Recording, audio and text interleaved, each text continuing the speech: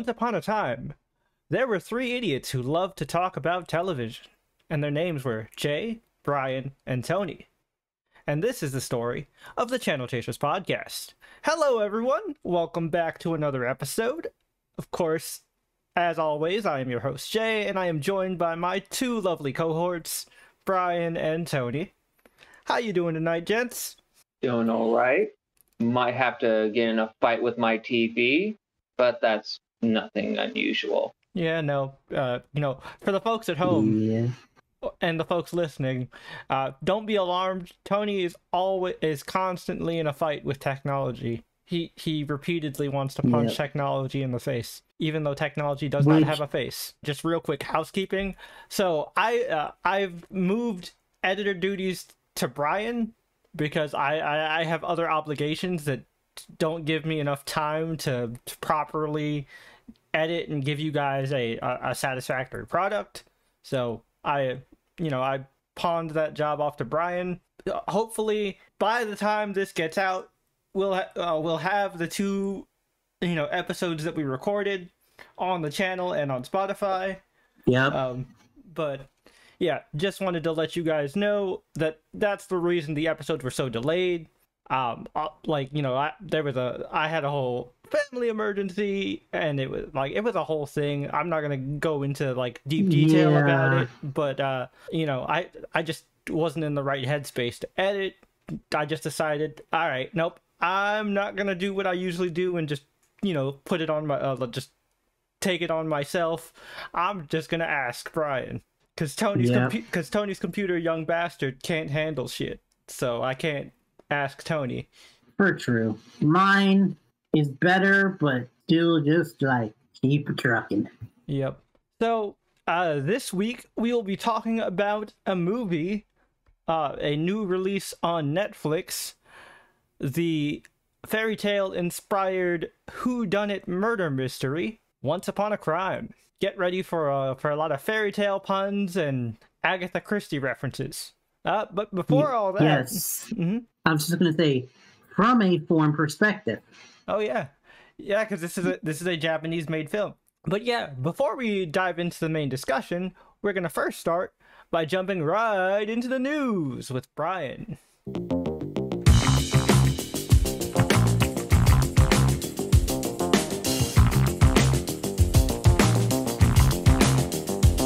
Okay, peoples. So we haven't been talking about the strike in a while. We're not ignoring it.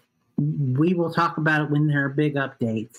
This isn't really an update, it's a side story, but I thought we'd go ahead and discuss it because it helps highlight the like negative side of the strike. Y'all hear about the Drew Barrymore situation? What's the Drew Barrymore situation? Well, for those that don't know, Drew Barrymore right now has her own daytime talk yeah, show. she has a talk show. Mm-hmm.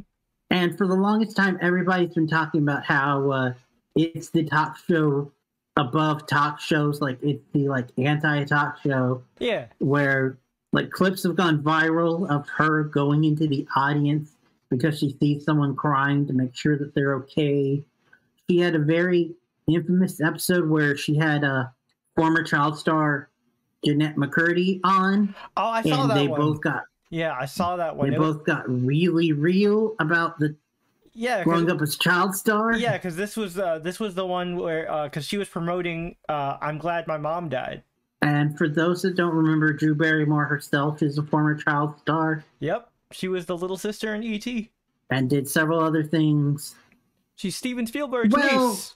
hmm Well, Was uh, the stinger kill in the first Scream movie? Yes, she was. yep, Probably her Yeah, most yes, iconic she role. was. Anyway, all that going for her, and then she messes up Okay. She done goof. because she started up her show again. All right. Oh. Oh. and she was claiming that it was because of the fact that it was under a different thing and didn't have WG act you know, people that this was a total separate thing like Good Morning America, which Mhm. people did the research and they're like, no, Good Morning America can continue to go because it's under news. Yeah. You're not under news. You are just continuing without WGA people hmm you're scabbing. And uh, there even was a thing where um, two people, two young college kids, hmm came in to see one of her shows back, and the WGA was picketing it. Uh-huh. So they gave out pins, and these guys were like, cool. So they just put on the pins and sat down in their seats that they bought. Well, they went to go use the bathroom, and security escorted them off the prom- premises because of them wearing the pins that promoted WGA. Ah, shit. Mm. And well, just to show you that, like, what this current generation is like, you know what they did? Uh, posted a Hmm. TikTok. They joined the picket line. Cool. Good for Cool. them. So instead of spending their time watching the Drew Barrymore show, they were picketing the Drew Barrymore show because they still had that time blocked out in their schedule. No, that's Uh, that's one that's one thing that's one thing I will really give to the kids is that like you know they are very like steadfast in their ideals, and uh, it, it it's all it's always it's always good to see you know the next gen the next generation like you know stand for something, and you know Yep. not, not just be part of an echo chamber. And then after all this came out, Drew herself went uh, on the internet and posted a video. It was one of those I'm sorry, but Oh, so it was a YouTube apology. Uh, kind of. Uh, she didn't over dramatic play it as much as YouTube apologies. She basically said that she's sorry, but she is going to continue because this is bigger than her.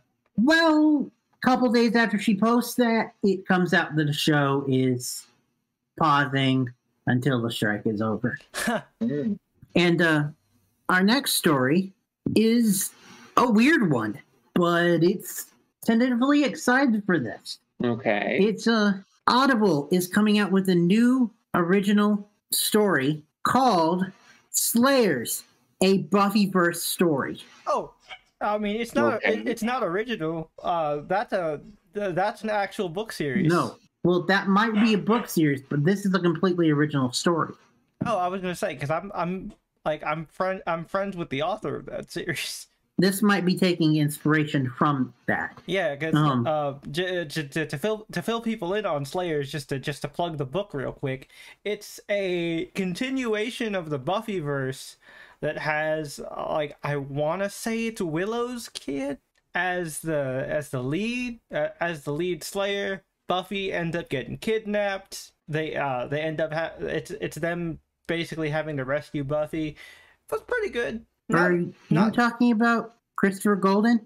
no, no, no. Uh, Kendare Blake. Oh well, this this story is being written by Christopher Golden, who also has done several Buffyverse comics. Yeah, and he's also he also did the Runaways uh Runaways novel.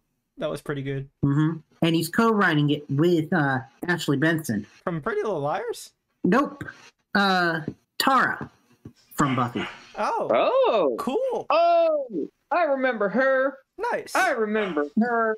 Yeah, this this is going to be a sequel series as well, where it's going to be about Spike, who Ooh, cool. who uh, I think they said like 20 years after the last season has now moved to LA and is like undercover in the LA supernatural world. That is until he comes across a new, I think they said 16 year old Slayer who he then has to make it his mission to try to find her her own watcher and get like her off of his hands and in doing so he also gets involved in the multiverse and uh Why is everything doing the multiverse now? well it, it's multiverse but it's only one universe Then it's not It's- multi. well it's more than one so i thought multiverse would be the best way to explain it Okay. alternate universe hmm where he goes to an alternate universe where Buffy Summers never existed. Oh. Hmm. So instead, you know who becomes the slayer of this world? Willow. Nope. Cordelia. Cordelia. What? That's Best girl Cordelia. Yep, Cordelia is the slayer of this world, and she enlists Spike and the new rookie Slayer to help her with a great evil. Look, I'm gonna be I'm gonna be real with you. I liked Buffy, but I loved Angel. And I loved Angel because of Cordelia. Yeah, but then they did her dirty. Yeah. Not as dirty as they did Fred. Which um people. Charisma Charisma Carpenter is returning Nice. and she said she said this is gonna be the redemption that we all wished for for Cordelia. cool. Uh, which, by the way, I, Uh, I did I did just look it up. I found the story I was talking about. It's called "In Every Generation." Uh, so let- Okay. let, me just read the read the synopsis real quick. The first, no, uh, the first in an all new series by New York Times bestselling author Kendare Blake, uh, continues the world uh, continues the world of Buffy the Vampire Slayer, featuring the next generation of Scoobies and Slayers who uh, must defeat a powerful new evil. Uh, a new Slayer for a new generation. Frankie Rosenberg uh, is passionate about, passionate about the environment, a sophomore at New Sunnydale High School, and the daughter of the most powerful witch Sunnydale history.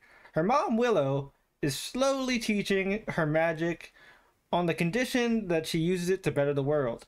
But Frankie's happily quiet life is upended when new girl Haley shows up with the news that the annual Slayers convention ha- uh, has been the target of an attack for on all the Slayers, including Buffy, Faith, and Harley's older sister, Vi. Uh, they all might be dead. Uh, that means it's time for the next generation Slayer to be born. Yeah, so that, so that's the whole that that's the whole thing for that. It's a pretty it's a pretty good series. Nice. Mhm. But uh this one, just to continue what I was saying, Mm-hmm. is uh like I said, Charisma's returning as uh Cordelia. James Masterson is returning as Spike. Nice. And uh also returning characters with their respective actors are Giles, Anthony Stewart Nice! Head? Hell yeah, yeah. I love Giles. Anya, Nice. Okay. Tara, she's coming in for writing and voicing. Nice. Cool, cool. Uh Clem Huh. Fucking cool. and Jonathan. Oh. Okay, we're we're getting we're getting some, And- we're getting some deep cuts. Scooby One more big villain of this story Uh huh. who has a special connection to Spike. Uh huh. Huh? Drusilla. Oh, Oh. shit! Not Drusilla. Not again. I've I feel Yup. we've done this dance a little too many times, but fuck it, I guess Homegirl just can't leave well enough alone. that's what I'm saying. And uh voicing the uh the new Slayer is a relative unknown. I I'm probably gonna butcher her name. Indira Nunal. It's probably Indra. Uh the best thing that she's known for was and I'm gonna butcher this name again, but she played Ang Angbroda in the God of War Ragnarok. oh, Angraboda. Oh. Oh. yeah, she voiced Angraboda. Yeah, her name is Indra. Yeah. Um, yeah. Her name is Indra. Okay. Yep. She was cool. I love I loved Angraboda in uh, God of War Ragnarok. So it was Well, she's going to be the main, like, Yeah. rookie Slayer. Mhm. Okay, that's Cool. cool. That's Cool. interesting. That's awesome. Yeah, no, I, I, Yeah, I and, dig uh, Angraboda. All of this is starting in October 12th. Okay, cool. Mm. Round It's going to be a, like, multi-part series. Hey, Audible. Mhm. I, I say this every time. Your ad could go Mhm. here. Just saying. Just, just maybe here. And uh, for our last story of the week, we're going to go to the open sales once again. And One Piece, then renewed. Yeah. I I, Yeah, I. I, I love the announcement message with Oda's Den Den Mushi. I, I've adjusted. I've adjusted to them now. They're they're still weird and unsettling, but they don't terrify me as much as the first time. Uh, Yeah, they're they're still cursed cursed things, but y- they you get used to it over time, like Jay said. Also, now we now One Piece fans officially know that Oda has a mustache because uh, you know we've never seen Oda outside of his uh, fish head avatar, but the Denden Mushi is supposed to reflect the speaker, so the Den Den Mushi had a pretty awesome mustache. So that means Oda Right, right, has right, an awesome mustache. Mhm. Flash fit was pretty damn solid. Not gonna lie. Yep. And they they they And the coming- trailer did Mm-hmm. also confirm a future Straw Hat. Yep, one Tony Tony Chopper, which I'm terrified of what they're gonna do because me and Cap have a bet going on of whether it's gonna be a CGI nightmare or a practical puppet or worst case scenario, terrible child actor in furry suit. But I said if they're gonna if they're gonna hire a child actor, just hire Kid Sanji again. Because Kid Sanji was the Um, only child actor who didn't suck. which I told them off camera, but it's no surprise because he's the lead in another Netflix show, Sweet Tooth. Which also has animal human people and is done pretty well. Yeah. Uh, I so this pretty much confirms to me that we are gonna end the season uh, with the Drum Island arc, the you know, aka the Chopper arc. So that pretty much sets the pace for me in terms of knowing where season two is gonna go, and it's gonna be some interesting stuff. Uh, I am very curious to see if they do a particular part that everyone in the fandom thinks they're gonna skip because it has dinosaurs and giants and shit.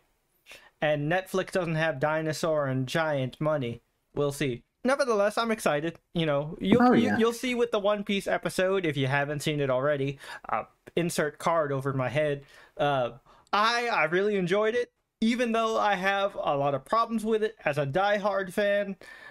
It makes it easier for casuals to understand the greatness of One Piece, and for that I am eternally grateful. So, you know, I'm still here for it. I'm gonna support it. And as a non anime fan, really enjoyed it. Can't wait to see more. As someone who uh, has just a passing relationship with One Piece, I really enjoyed what I saw, Mm-hmm. and I want to see more of it. You're gonna have You know? also you're gonna have to wait till at least I want to say depending on how they pace this season five or six to see Boa Hancock. It will be an unfortunate thing, but she's worth the wait. She is worth the wait. Uh, Also, that's gonna be an important casting. with the strike and everything, we don't know when this is going to come out. I mean, So Oda in the announcement says that the scripts are being worked on currently. yeah. So, uh, I so I followed I followed the production cycle of this movie ever since it was announced. Uh, so I can tell you that with this first season, it took about two years to write and one year to shoot in South Africa. Uh, so we're probably not going to see this until at least at the earliest 2025 but I'm betting more 2026. which is sad, but also people keep in mind that depending on when the strike is over, before then, we're going to finally get to see the last season of Stranger Things and hopefully finally get to see the second season of Squid Games. And on top of that, good things are good things come to those who wait. Mhm. Is the trying to say, but what I was trying Yeah. to say is, if we want great quality content, yeah, we I, gotta wait for it. yeah. I don't. you know? want, I don't want them to rush it because they took their time, put a lot of love and effort into the first season, and it came out good. So Because if you want Mhm. something that's profit, you could easily go to any C or D tier fast food restaurant. You know, yeah, you know, so, I I'm tired of McDonald's. I sometimes maybe sometimes I want to go to the Cheesecake Factory, even though they're overpriced and expensive. Yeah. But uh, anyway, we're done with the news. All right. So we're going to jump right from the news and let me check my watch. Yep, it is that time again. It is screen time. For those of you who are new to the podcast, Screen Time is a segment of the podcast where we talk about the different pieces of media we've been consuming in between podcast episodes that can range from anything from TV shows, movies, manga, anime, video games, and more. Uh, I've got a long list of shit, so I'm gonna go first, and I'm gonna start with a soapbox. Here we go. Buckle up, ladies and gentlemen, because I watched the first five episodes of Ahsoka. Or should I say more accurately, Rebels Season 5, because that's what this show is for real. Look, man, I love Star Wars. I really, really love Star Wars. So when stuff in Star Wars is meh, it hurts me even more than it being bad. And this is very, very meh. Like, Like, aggressive. at least like the first four were very, very meh. Like, okay, to, to explain explain my problems with it without going into spoilers, um, the pacing is really off. Everybody, it's a it's a lot of talking, but like there's a lot of like long awkward pauses with the talking, and like I could see how this works in an animated setting and be more phonetic, but like in live action, this is just boring as fuck. And like it takes a while for this shit to pick up.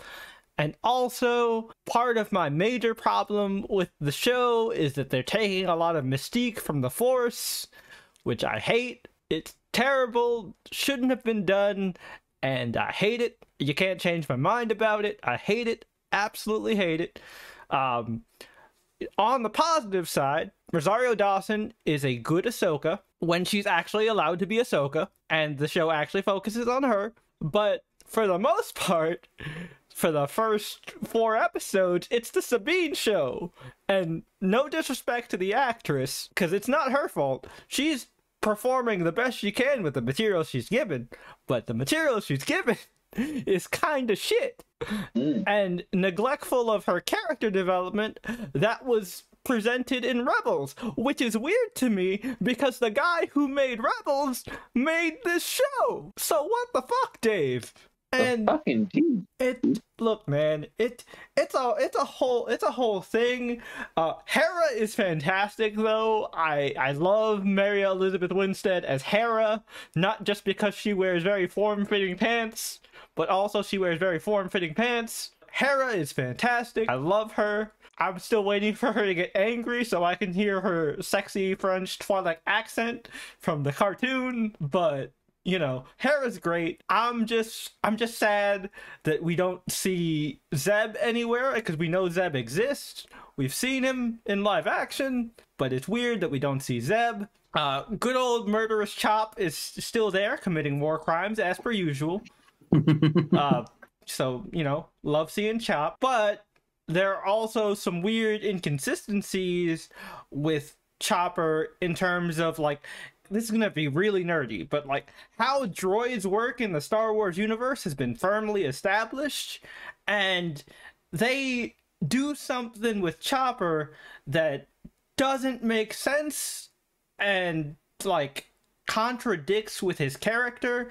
And I know what you're thinking. He's just a trash can. Ro- he's just a trash can shaped robot. What do you mean? He? What do you mean his character? Trust me, if you've seen Rebels, Chopper has a character all his own and it has very murderous intent. Chopper has the highest And- body count of everyone on the Ghost crew. Like, actually. Like, that's not even a joke. It's been counted and documented. He has the highest body count. Uh, Robots to commit war crimes. yep. Get Uh, no repercussions for actions. Yep. well, I mean, to be fair, also go back to the original trilogy Oh, yeah. and R- all the deaths R two, yeah, R two is also psycho, which is which is why uh, the thing that they do with Chop doesn't make sense to me because technically them doing this should have stopped him from being psycho. The whole reason he's psycho is that this thing was never done to him or R two, but Oh, you know Oh, it it just it's really fucking weird and i hate it as someone who's a who's a lore fan. Uh you know so uh, let me let me stop shitting on the show for a second and actually talk about the episode that kept me in here episode 5 holy shit what an episode I'm a, I'm a be I'm gonna be real with y'all. Y'all have seen the trailers. Y'all have seen the clips on Twitter. I I'm pretty sure y'all know, but I'm gonna give a spoiler warning just in case. So skip past this if you don't want to hear about Ahsoka episode 5. But this was probably the greatest piece of Star Wars I've seen since Andor. And if you've seen Andor, that's pretty high praise. It's not as good as Andor, but like I was actually invested in this because, uh, you know, again, spoiler. The boy Hayden is back, and Yeah. we got we got to see we got to see him in his fucking Clone Wars outfit in act, and we got to see the scenes of actual battles that were played out in the show, and they got the correct battles and the, the, the timeline. It was it was like okay, Dave, so you actually do remember stuff you worked on. So that which like made me happy but then also frustrated me because i'm like okay if you remember why are you doing this but anyways uh, it was great hayden christensen has not missed a step you can tell that he had to hold back on ahsoka slash rosario because that man his blade work choreography was fucking immaculate and it was fucking plain as day that this man was operating with kid gloves on with old snips like nice. it was um, it was great. And Kid Ahsoka was actually a pretty good actor, which I was kind of terrified of. I was like, mm, it's Kid Ahsoka, child actors. But no, Kid Ahsoka actually was more Ahsoka like than Rosario Dawson has been in like three episodes. Nice. I don't want to spoil it for people that hadn't seen it, but I did hear that another character returned. Mm-hmm. It uh, it was a, it was their first time showing up in live action. It was a quick cameo, but they were there. Okay, cool. Yep. It, it was awesome. It's very nostalgic and Nice. you know, look, they they hit me with the member berries and I'm not going to lie, those member berries were delicious. It's not Nice. it's not enough for me to raise the show above a 5 right now. But there are still Ooh. three more episodes left. If they can stick the landing, it might at least get up to a 6 or a 7. But Mm. you know, I don't hold hope for it to be honest. You know what this kind of reminds me of? The way that you're talking about this What? kind of reminds me like how I felt about Book of Boba Fett because I actually watched Well, that. so I ended up watching Book of Boba Fett too. I was actually going to mention that as part of my screen time as well. So nice transition. Uh, Book of Boba Fett was pointless because it was just Mando season two point five. The way that I say it is similar to how you were saying about Ahsoka. Oh yeah, yeah. Because It's good. It's good when they focus on the person that the show is named after. Yeah, no, it's it's it's fucking stupid, dude. They should have just called this show Rebel Season 5 and been done with it. This isn't really an Ahsoka show. This is a show about the Ghost Crew, and Ahsoka happens to be teaming up with the Ghost Crew. Yeah, and Book of Boba Fett takes the venture to say, hey, let's talk about a different Mandalorian. Because when you talk about like crime boss, Boba Fett, and like all the stuff that led him to how he was in Mando season two, Mm-hmm. that stuff was good. Yep. Yeah, no, it it it's it's very weird cuz like I really like Hera. If this if this show was just straight up just about Hera and like the Ghost Crew's problems like they clearly want it to be, I'd probably be more forgiving of this show. But nah, the show's called Ahsoka for some weird reason. Even though Ahsoka Um. was only the main character of episodes 4 and 5. Go figure the two episodes that were okay and good, respectively. What was it called? Um, Raiders of the Republic, the canceled show. Oh, I yeah. heard for a while there that they were going to have Hera lead that show. Dude, if it was Mary Elizabeth Winstead's Hera, I would have watched that. Even though I don't like the whole, uh, I, I hate the New Republic with a passion because they're a bunch of incompetent jackasses. That's neither here nor there. That that's for a possible Ahsoka review. That I'm gonna pro. Look, if if this if this show doesn't stick the landing, I'm probably gonna have to drink for it. Uh, but I'll do it. Also, to to give more positives, uh, fucking the people carrying the show on their fucking back is Ray Stevenson, rest in peace, and his apprentice Mm. because they are the most interesting part of this entire show. Every time it cuts to them, I'm like, yay, I don't have to deal with this bullshit. Oh god. This bullshit over here, get rid of it. But Ray Stevenson is cool as fuck. He's not necessarily the most complex character. It's nothing groundbreaking, but he does his job and he does it well, you know? He's the best there is at what he does, and what he does isn't very nice. You know, Yeah. that's an inside Well, joke because, you know, um, Ray Stevenson played Sabretooth. But here's the thing. he? Yeah, um, he was When? he was in uh, he was X Men Origins Wolverine Sabretooth. That was Liev Driver. Oh, that was Leo Yeah, Driver. Schreiber. Okay, they, they look they look very they look very similar. They do. My But. I will say Uh, that Ray, Ray Stevens, outside of Punisher Warzone, is always plays a side character that you oddly root for. Yeah. I don't. So Yeah. I, I don't root for I don't root for Skoll. I don't root Well, for. I you don't. enjoy watching. oh yeah, Skoll and Hati are the best parts of this fucking show, bar none. Uh, because people forget that Ray Stevens was actually in the MCU. yep. Yeah. He No. was the Volstagg of the Warriors Three. Mm-hmm. No, it, like they they're they're fucking cool. Uh, fucking Skoll has an epic hallway scene. It's no Darth Vader hallway scene, but it's a good hallway scene. Um.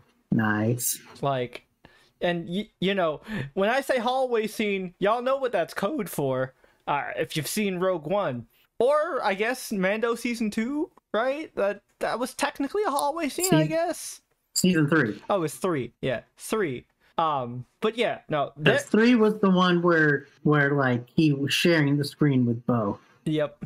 Skoll and Hati are great. Rest in peace, Ray Stevenson. I I could t- I could tell the weight of carrying this show on your back did not help with your health with your health condition. I apologize.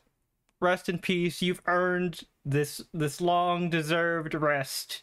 Thank you for your service. Star Wars fans everywhere owe you a debt of gratitude for making this show actually bearable. I wish Marvel had treated you better with both of your characters. Yep. I agree, hundred percent. When it comes to a lot of actors just out there doing like superhero stuff in general, hmm we don't give enough credit a lot of the time, Yeah. especially the aggressively mid ones, or like Ray Stevenson, who did the best that he could with the material that he had.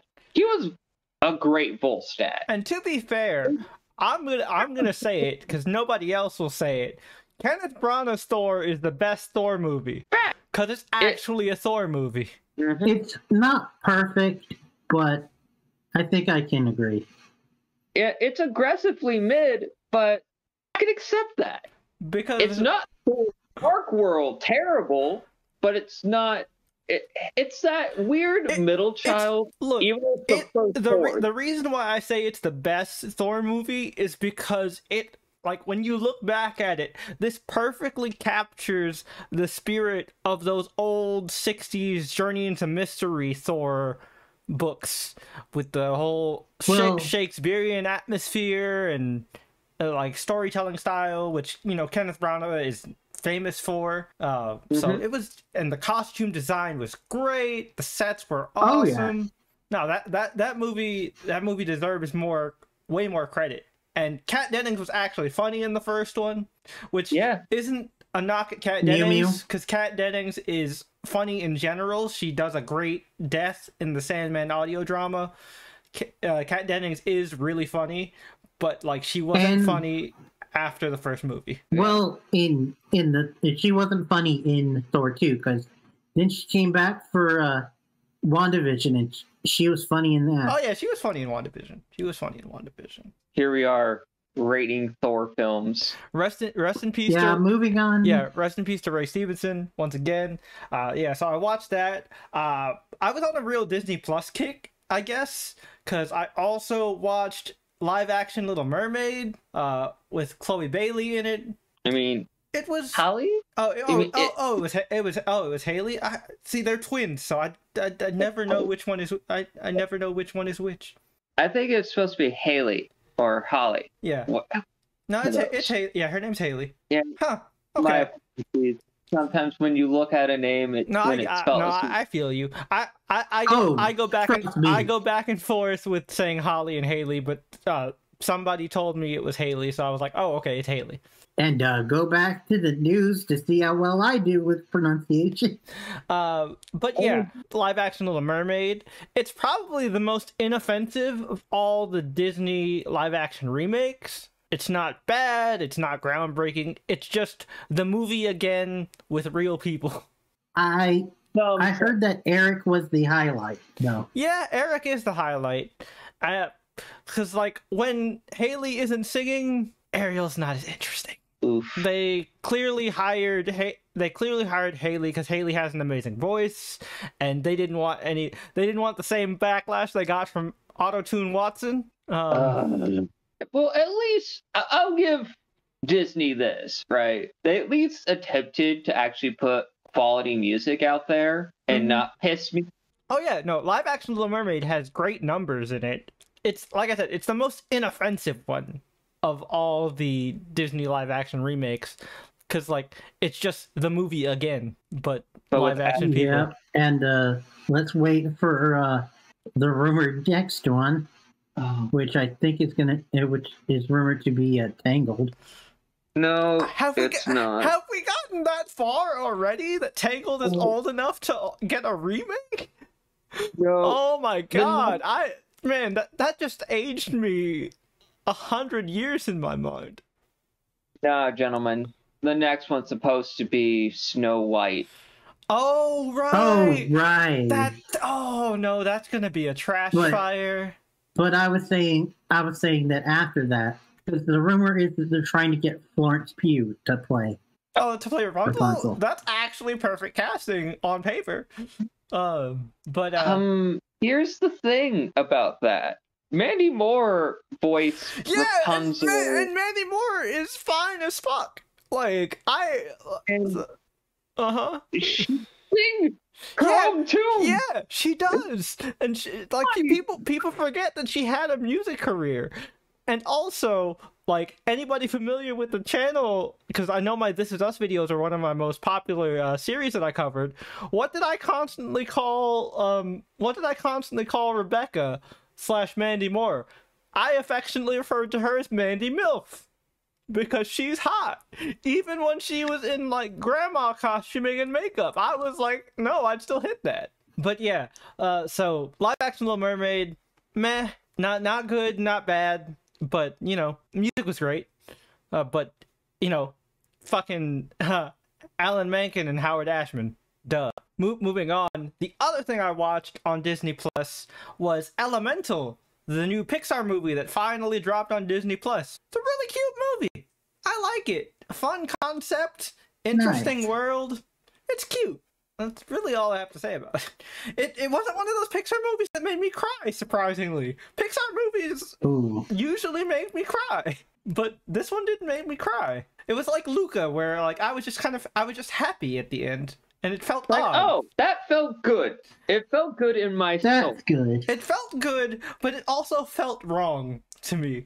I hear you. Which, uh, by the way, Uh-huh. don't think that that's going to be a regular thing because, uh, according to rumors, they're currently working on a uh, fifth Toy Story. Nice. Ugh, But let but in this one, in this one, it's going to feature Andy as an adult with kids of his own. Yeah, look, look T- Tony, Tony, before before you before you cry foul on the Toy Story franchise, I will give the Toy Story people credit. The Toy Story people only make movies when they have something to say or some new shit has happened in their lives that they that they want to fucking play out through these animated toys.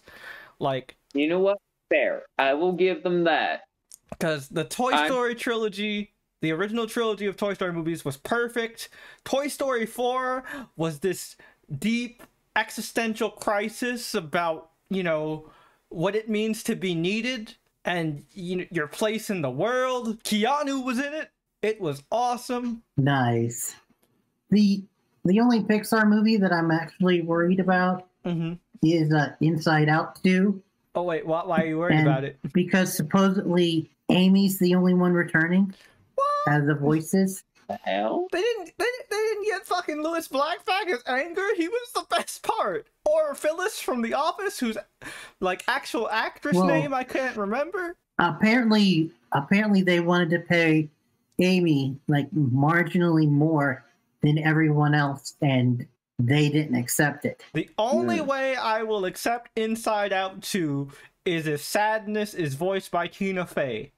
Because those two are a dynamic duo that can get shit done. Uh, but yeah, Elemental, super cute. I liked it a lot. Didn't make me cry, but it was it was a good movie. Um, what else did I watch? Oh yeah, I've started to watch My Happy Marriage uh, in preparation for a, a later episode. Really like what, it. What, what have I told you? Nah, like, look, I'm gl- I'm really glad I waited till it was over because I would not be able to handle those fucking cliffhangers. Actually, no, it's not over quite yet. It only ha- no, Uh, it it only has twelve episodes for the season though. I thought it was The over. 12th episode hasn't happened yet, my it's, guy. it's out, dude. No, Yeah, it it won't ca- be on. no, it came out today. No, that's it. Episode 12 comes out on the 20th. It's Oh. the 19th. Oh wow. Well, I will. I won't. Well, by by, by the time by the time I'm by the time I'm there, the last episode will be there, so I don't have to worry about a cliffhanger. Yes. Yes. But yeah, I really like it. Very interesting world. A lot of messy fuck shit. The the the sub is super well voice acted. Uh, it's very pretty. Great show. Really enjoy it. Nice. Um. Also, credit to uh, the Dubcast too. They do an amazing job with Oh, I haven't- I haven't checked out the dub. I'm gonna have to. I'm gonna have to do that. Uh. For It's gonna be weird hmm because I know the lead actor for other stuff. Uh. I was gonna say he's one of the Smosh people, like one of the new Smosh people. Oh, cool. The Damien Haas. Uh, the other the uh the last the last thing that I watched was um I've been keeping up with Futurama weekly. I haven't really talked about it because like I I don't I don't really want to just talk about a new episode every week. But since we're about uh we're pretty close to the end of part 1, uh I will say I really like this Hulu season. Uh it's it's different but different in the same way that the Comedy Central seasons were different from the Fox seasons. I like it. It follows up Meanwhile very well, which I didn't know how they were going to do because Meanwhile, I mean, with Futurama in general, uh, whenever they know they're getting canceled, they make their season finale also a series finale. But Meanwhile was the best one I had seen so far. But how they handle uh, like continuing after that was really good. Um, uh, you know, all the characters are still in top form. There's a lot of good gags, a lot of good new jokes. It it doesn't feel like it's forced to be uh, to you know give 2020 humor. Uh, so you know that's great.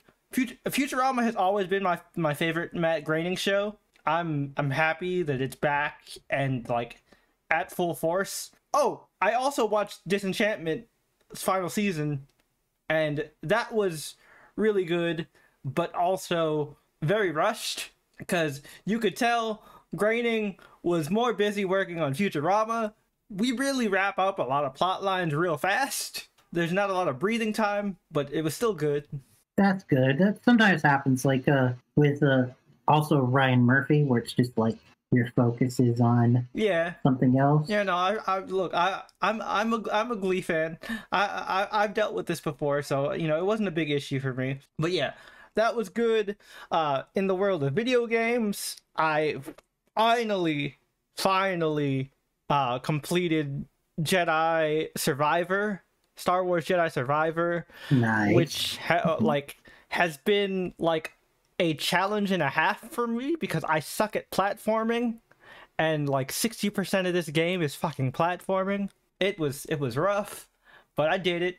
I got so frustrated with the game that I was like, "Nah, you know what? I'm not to stream that. I'm not to stream this. This is to be a me game."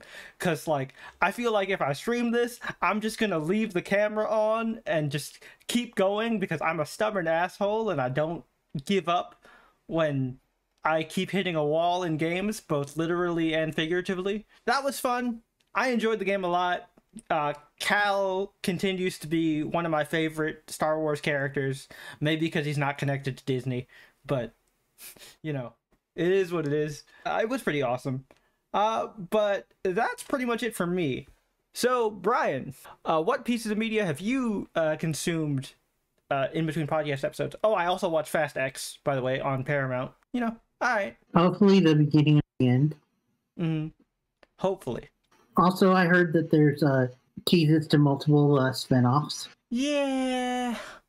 Yeah. But uh, anyway, uh, continuing where I left off um, from last time, I did watch more of Money Heist, but I just I don't know if it was just I was not in the right headspace for something so dramatic. I just had to take a break, so I started watching other stuff hmm that was less uh, mentally taxing because stuff I won't get into mentally. Uh, but anyway, uh, they started up a new season of that show that I was telling you about called uh, Dirty Laundry, hmm where uh, it's one of the Dropout TV's originals. Uh huh. It's uh, where the comedians get together and like try to guess whose secret is whose. And this one was like one of the more chaotic ones. Uh, I will say that one of the secrets that they tried to guess was uh, who threw pretzels on a couple while they were doing the horizontal tango. I mean, you know, uh, it burned a lot of calories. You need to, you need, you know, you need to keep, you know, you got to keep your energy up. He's just doing them a service. That was fun. That show's always good for uh, if you just need a laugh and something to turn off your brain to. I also watched, I caught up and watched the last two episodes of Critical Role, Campaign 3. It still has its issues. Not the last episode, but the episode before that introduced one of the best NPCs of the whole campaign that Matt openly admitted was highly, highly inspired by Miyazaki. oh. Oh, cool. And then the last episode, it featured a ghost ship. I'll just say that. Nice. Ghost And ship. then um, I teased this before, but uh, like I said, mental health wasn't great, so I started watching something that I heard is kids show, but it's also good for adults if they're having like mental stagnation or something like that. I actually watched a few episodes of uh, Bluey Louis. on Disney Plus. Well, what, Uh, what, what, what's that one again? It's the It- cartoon dogs. Oh, The main one is a girl blue cartoon dog. It's an Australian show that got ported over to the US oh, I was like, and is insanely popular with kids. I was like, this sounds like off-brand Blue's Clues. It it's not. It's um they're in a world kind of similar to um Zootopia where everybody's an anthropomorphic animal. Ah, okay, okay, Yeah. yeah. I, One Well, that when, when I heard- when I heard when I heard the name Bluey real quick, the first thing that jumped to my head was uh, the show Louie from FX, where Louie was a dog, and Yeah, it, Uh, that was pretty. because breed dog that at least uh, she is a blue heeler, Hmm. If I'm remembering correctly.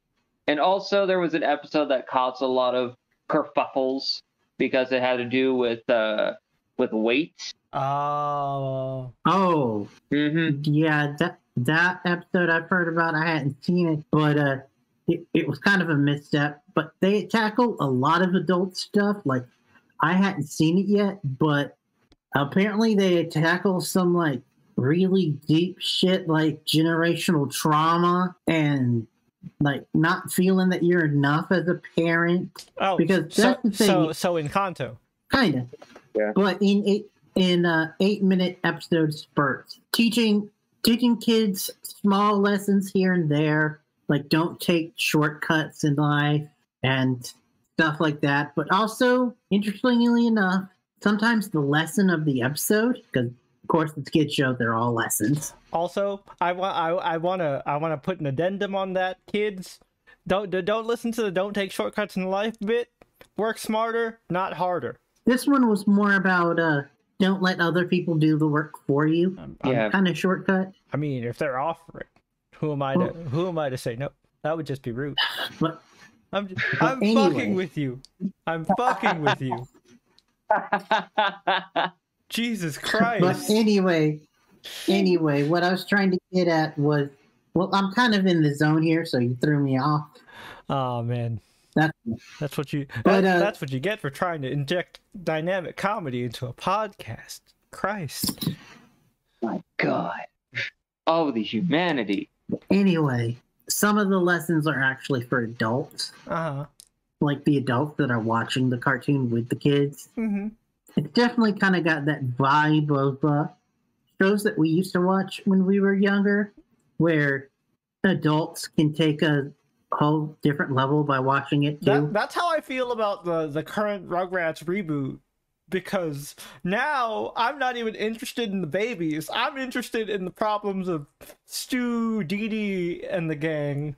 Because they're nice, thirty somethings trying to figure out parenting. The help. nice. But Help, Dad. Help. Yep. the last thing that I'll say about Bluey is uh, the main dog, Bluey, and her sister are both voiced by kids and not badly voiced. And they act like normal kids. Like they don't act like adults trying to write kids. Oh, so it's a so, They it's, act so, like it's a normal Char- so it's a Charlie Brown situation. Cool. kind of for a younger audience. Uh, but anyway, moving on. I did also watch uh, two movies that I've been meaning to watch for a while. Okay. Uh, Jumanji: Welcome to the Jungle. Oh, nice. That was a pretty good sequel. No, well, uh, yeah, but I'm talking about the first one with The Rock and uh, Oh, oh, that was the first one. Oh, Mm-hmm. I, I forget. I, I, did, I didn't know that it had a. I didn't know Jumanji like the Jumanji reboot had a subtitle to it. Yeah, Welcome to the Jungle is the first one with Kevin Hart and uh, The Rock and Jack Black and Karen Gillan, and then the second one with them is called The Next Level. Ah, man, Jack Black was a fucking riot in the Yeah. in, in the first movie. Jesus Christ. And Jack Black also, is Yeah, also, this was the movie that where I discovered that nowadays Kevin Hart is only funny in movies. Now, for some reason, I don't for, like. I don't know why. I don't find his stand-up funny anymore. But anytime he's in a movie, it's fucking hilarious. But anyway, yeah, I really liked it. Um, Nick Jonas, Yeah, no, that was a nice surprise. surprisingly good actor, needs to do more stuff. look, I look. Th- th- this is gonna this is gonna show you how old I am, slash how young I am, I guess. But I always knew Nick Jonas was a good actor ever since I saw Camp Rock and Camp Rock 2: The Final Jam. Nick jo- Nick Yeah. Jonas is uh, Nick Jonas is hella underappreciated. Joe got way too much spotlight. Nobody cares about Joe Stark. Well, soon be former Joe Stark. Oh, they're getting divorced already? Yup. Damn, Mm, that was quick. mm. I can say more off camera, but uh, also just Kevin's been underrated this whole time. Oh yeah, but Kev- Uh, but Kevin's never wanted the spotlight. Kevin's always just been cool being Kevin. Yep, yep. Which is part of the good thing about him. But uh, anyway, uh, back to Welcome to the Jungle. It also featured an actor that I've noticed is like he's everywhere, but also underrated at the same time. I believe his name is Bobby Cavanaugh. The name Uh, sounds familiar. He he was the villain in Welcome to the Jungle, oh, but he was also the stepdad in Ant Man. yeah. Yeah. He he always seems to be around in several places, but then he's given a very small role. Yeah, Because the villain in Jumanji really isn't a villain. he's like he he reminds me a lot of uh, Dave Dastmalchian. Dave Dave Dastmalchian is is somebody who's like who- who's like a who was a small character actor whose big break was being uh, Joker Thug number one, who assisted uh, Ledger Joker in the uh, now iconic bank scene, and then he was then he became a Bane goon in uh, Rises, and he was one of the he was one of the ones that helped Bane yeet those people out of the plane. Then he joined the Ant Man uh, movies as part of Scott's crew, which Scott's crew was unceremoniously just disappeared. Still mad at that. And then Polka Dot Man. Yeah, he was polka. I forgot he was polka dot man. Picture ev- he pictures everyone as his mother. Uh, Also, uh, by the way, David Dastmalchian is championing right now to be the next Bond villain, and I say hell yes. oh, that'd be awesome. That would be awesome. But yeah, so that was good. And then also about the same amount of uh, I give it about the same amount, like numbers wise and all that, quality wise. Was I also watched uh, Date Night? uh, not Date Night. Uh, Game Night. Oh, Sorry, Game Night. Yeah, I, I've seen Game Night. Game Night was fun. I will say that uh, Jason Bateman kind of missed his calling as the unconventional action hero. Yeah, right. Also, Rachel McAdams, a lot funnier than people give her credit for. People forget she was in Mean Girls, bro. She was funny as hell in Regina Mean Girls. George. She was funny as hell in Mean Girls. That that fucking delivery when she gets hit by the karma bus. Oh yeah. man. Mhm. Uh, also with uh, game night, got to give a shout out to uh, Jesse Plemons, our main man Alan from the uh, oh forgotten yeah. episode Oh, about love and yeah. fun, uh, love and death. Love and Death. F- The, the boy Alan, everybody's favorite goober. Yeah. He, he was in this. He was in this as like a goober cop. He just he just has a goober face, all right. He can't Mhm. not play a goober because he has a very goober face. Just like Matt Smith can't play a uh, a character that's not a weirdo because he just has weirdo face. Yeah, I'd say people who have those kinds of faces in real life. But w- when you have that kind of face, unfortunately, you're going to get typecast for certain roles It's when you're an also- It's Well- also very unsettling that Matt Smith doesn't have eyebrows, which makes it makes him look kind of like a caveman because his forehead is pretty big. but uh, anyway, just as to end what I was saying, both those movies were good but not perfect, fun, and had great elements to it, but maybe a little lackluster overall. I do want to see the next level, but it's going to be a little bit harder to see it. I'll just say that. Uh, but uh, anyway, uh, that's it for me for screen time. Okay, Tony, what about you, man? What Well, pieces of media have you Ah. consumed in between podcast episodes? I did something something very interesting actually. Okay, What I want to mention is that I listened to some music. nice. It's YouTube related music. Okay, So I decided recently, actually, I wanted to just listen to some good, uh, good nerdcore rap stuff, uh huh. and I went back to None Like Joshua's uh, JoJo ciphers. Oh, cool. Like, uh, I listened to the villain rap first, where it's all eight parts because we don't know Yeah, yeah. part villain because it just started Mm-hmm. still quality stuff. The people that he got to do the rap verses for these villains. Yeah, I want to say Rustage was in that one. Uh, Rustage also does really good uh, nerdcore rap on YouTube. Rustage does uh part 3D. Yep. And uh so I listened to that. I listened to the JoJo one Mhm. like multiple because I think out of my out of the JoJo group raps, the Jobro one is my favorite because musically, like the uh the accompaniment was perfect, oh, cool. immaculate, uh, beautiful. to to uh, give you a suggestion of something to listen to, uh, Rustage actually did a uh, a Josuke song called uh, Diamond. The hook is so good. Oh man, it it, it really it really captures Josuke as a character. And But uh, here's the the- witty references are always nice. Rustage is great with punchlines. Here's the coolest thing uh, about that. Someone actually made an edit of the JoJo main villain and their respective Joestar from their respective part. hmm Sure, the flow is a bit janky because it's the JoJo villain and then their respective Joestar or Yeah. hmm JoJo. And the ciphers for both are kind of funky. Like the Yeah, because the beat's different.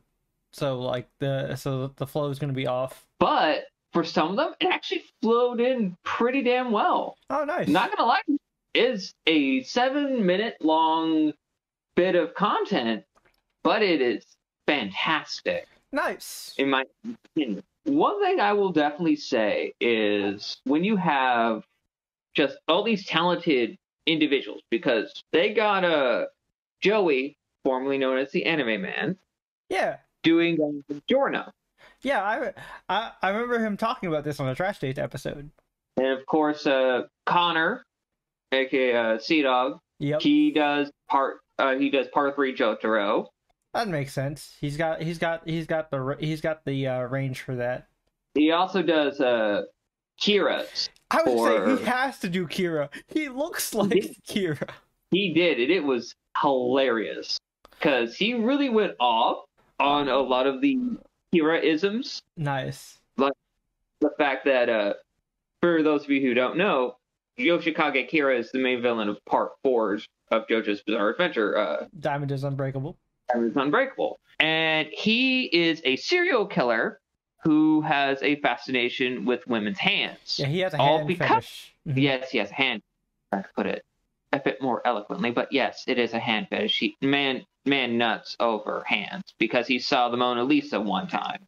It ain't called it ain't called JoJo's Average Adventure. All right. When you have uh, stands, vampires, and Hamon, or in the alternate universe, Ripple. since part the spin, the ripple, yeah, and then you have rock humans.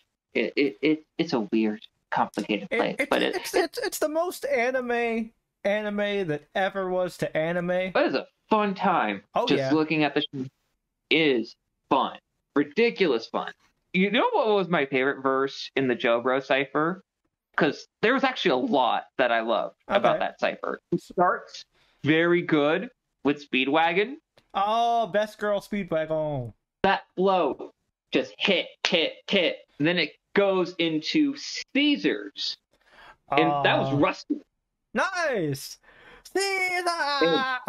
And he went hard on that. he went hard. Man, because one of the my favorite lines from uh, his uh, verse, he went into uh, Caesar's final rebuttal and then goes straight into Japanese to uh, kind of make that oh, flow. that's cool. I mean, Rustage did that with his uh, verse as part three Dio. Yeah, yeah, yeah. Cool. I'm gonna, I'm gonna have to But- check this one out. With Caesar, but the flow that I loved the most, it's actually a tie between Okuyasu Uh huh. loved like the upbeat flow. Because fun Yeah. fact, folks, and those who are other fellow JoJo fans, Okuyasu is my favorite Joe bro Oh, because I love. interesting. He's he's he's underrated as fuck. Yeah, I think I've mentioned this before. Okuyasu is my favorite Joe bro because he's a goofy, lovable idiot. Yeah, and Bad Company is a good stand. No, his company is the hand. Oh, right, right, right. No, his brother is the one with Bad Company, isn't it? Yeah, that's uh, Yep. I I, al- I always I always mix those up. But yeah, okay, Okuyasu is cool. I think my favorite Joe Bro is Kakyoin. yeah, and his is actually a pretty decent flow too. Not my favorite, but serviceable. Nice. Uh, But was was uh was, was Guile included in that? I mean, Jean Pierre Polnareff. Which, nope, it was just uh, Kakyoin. Uh, which fun fact for y'all, if you did not know, uh, Street Fight, uh, Street Fight, uh, the creator of Street Fighter is a massive JoJo fan, and Part Three was out at the time the first Street Fighter game came out, and Guile is just straight up Jean Pierre Polnareff. Like the creator has straight up said, if you look at Guile, you and you know what Polnareff looks like, yeah, it's the same thing, except Polnareff has silver hair, Guile is blonde. Only difference. But but you know what verse I think you might like, Jay? Because I highly recommend that you actually listen to it. Okay. I think you might like uh Bucciarati's. Because the flow Oh. on that one is pretty damn good. Man, Bruno. I love Bruno. We can talk about Bruno. And I love at the tail end of uh, his verse, he goes into this fast flow because you know uh Sticky Fingers stand cry is Ari Ari Ari Ari Ari Yeah. Mhm. and Bruno goes to uh Arrivederci. yeah. It, he does that flow. It's Oh, amazing. shit. I look. I I always like triple time. I, I can I can do it occasionally with enough practice and enough air in my lungs. And since I know you are a connoisseur when it comes to hip hop, Mhm. you would know the various different styles a lot better than I would. Oh yeah, for, For sure. me, love musical flow. That's just it. hmm And the one that tied with Okuyasu as one of my favorite verses in the Joe Bro rap is Hermes's. Ooh, nice. Hermes is Hermes was a Hermes was a solid character. Oh, side it- note, I want to know how was Jolyne's verse in the Joestar one? Uh, they got Chi Chi, uh, a pretty famous uh, music related uh, YouTuber, Uh huh. To do part. Mm-hmm. It has a majestic flow to her, but it doesn't give uh, Jolyne's personality of like Oh, it it it, to do, me. it does it doesn't It- ha- it doesn't have like a punk kind of like feel to it. No, it doesn't. Just Jolyne's uh, flow didn't feel punkish enough. And it's nothing against uh, Chi Chi. It's Hmm. just because I heard her do some kind of pop punk kind of rap style. Mm-hmm. It just it felt off. Ah. Which the first time that I heard her attempt it, mm-hmm. it that wouldn't feel right either. But so Gotcha. it's kind of this. I mean, there, and that's weird to me because there are a lot of like, especially recently, there are a lot of like really hard nerdcore female rappers like on YouTube. I mean, shit, like who I would have picked for Jolyne is Demon Dice. Here's the best part because they end up with part eight. The best part is that they got Caleb Hyles to do all of part eight. Oh, nice. So he does part eight Josuke, which the man's singing voice is amazing. Cool. And uh, his flow with Josuke's is so immaculate, is gorgeous. Interesting. So, uh, question: Did did he do something cool like mix the style of Josuke and Jotaro to like No. to, to construct Gappy's flow? Mm-hmm. Since uh, made before part eight's ending Uh huh. uh, for the uh, for the main JoJo Mm-hmm. rap, Mm-hmm. part eight wasn't finished yet. Mm-hmm. So a lot of things that they added, but just Caleb's flow is great. Nice. The toughest thing, and he admitted in a comment underneath the uh, video that they did the do re mi fa sol la ti do, and it was the hardest part for him to actually get right Ah, yeah. because of the flow shift. Mm-hmm. I could, I, I could, And I it- could see that being difficult. But one of my favorite things about his part eight raps is his Toru's. Oh, nice. Oh my god, so good! It was creepy. It was kind of a stalkerish feel. Now it makes sense for Torus. Yeah, very. It fits the part eight main villain, but it also feels so calm, so collected. Yeah, because Torus was very methodical. Yeah, that makes a lot of sense. The first line is, "Didn't know I was the villain. It was Kono Toruda." Oh, that that that that that's a that's a good that's a good bar. That's a good bar. And he mentioned a lot of flows and Calamity.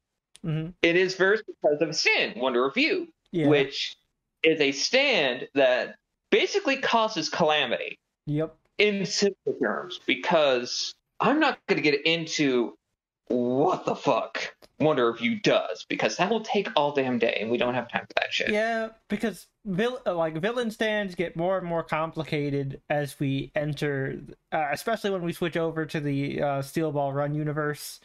Dirty Deeds Done Dirt Cheap is um uh, is a lot to explain. You know, Oh yeah, all all that shit. and None Like Joshua also does all of the part eight, no part seven characters. Oh, cool! That's my favorite. That's my favorite uh, alternate universe uh, part so far. All right, so but by far like the most like gorgeous musically, I would say other than like Gappy's that Caleb did was his Joshu uh Jobro rap. Nice. Which I was surprised it was or Joshu and not Momozuka. But Yeah. hey, It is. I yeah, I was gonna say Mumble and Momozuko would have been perfect because you could have did like a Snoop Dogg impression.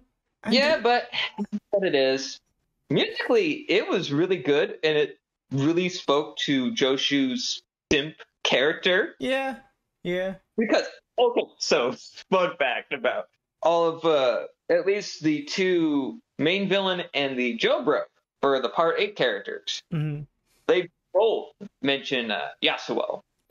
Uh, of course, of course, they were both Thurston. And then uh I like have a favorite part in uh Gyros Nice. because not only was flow is really good.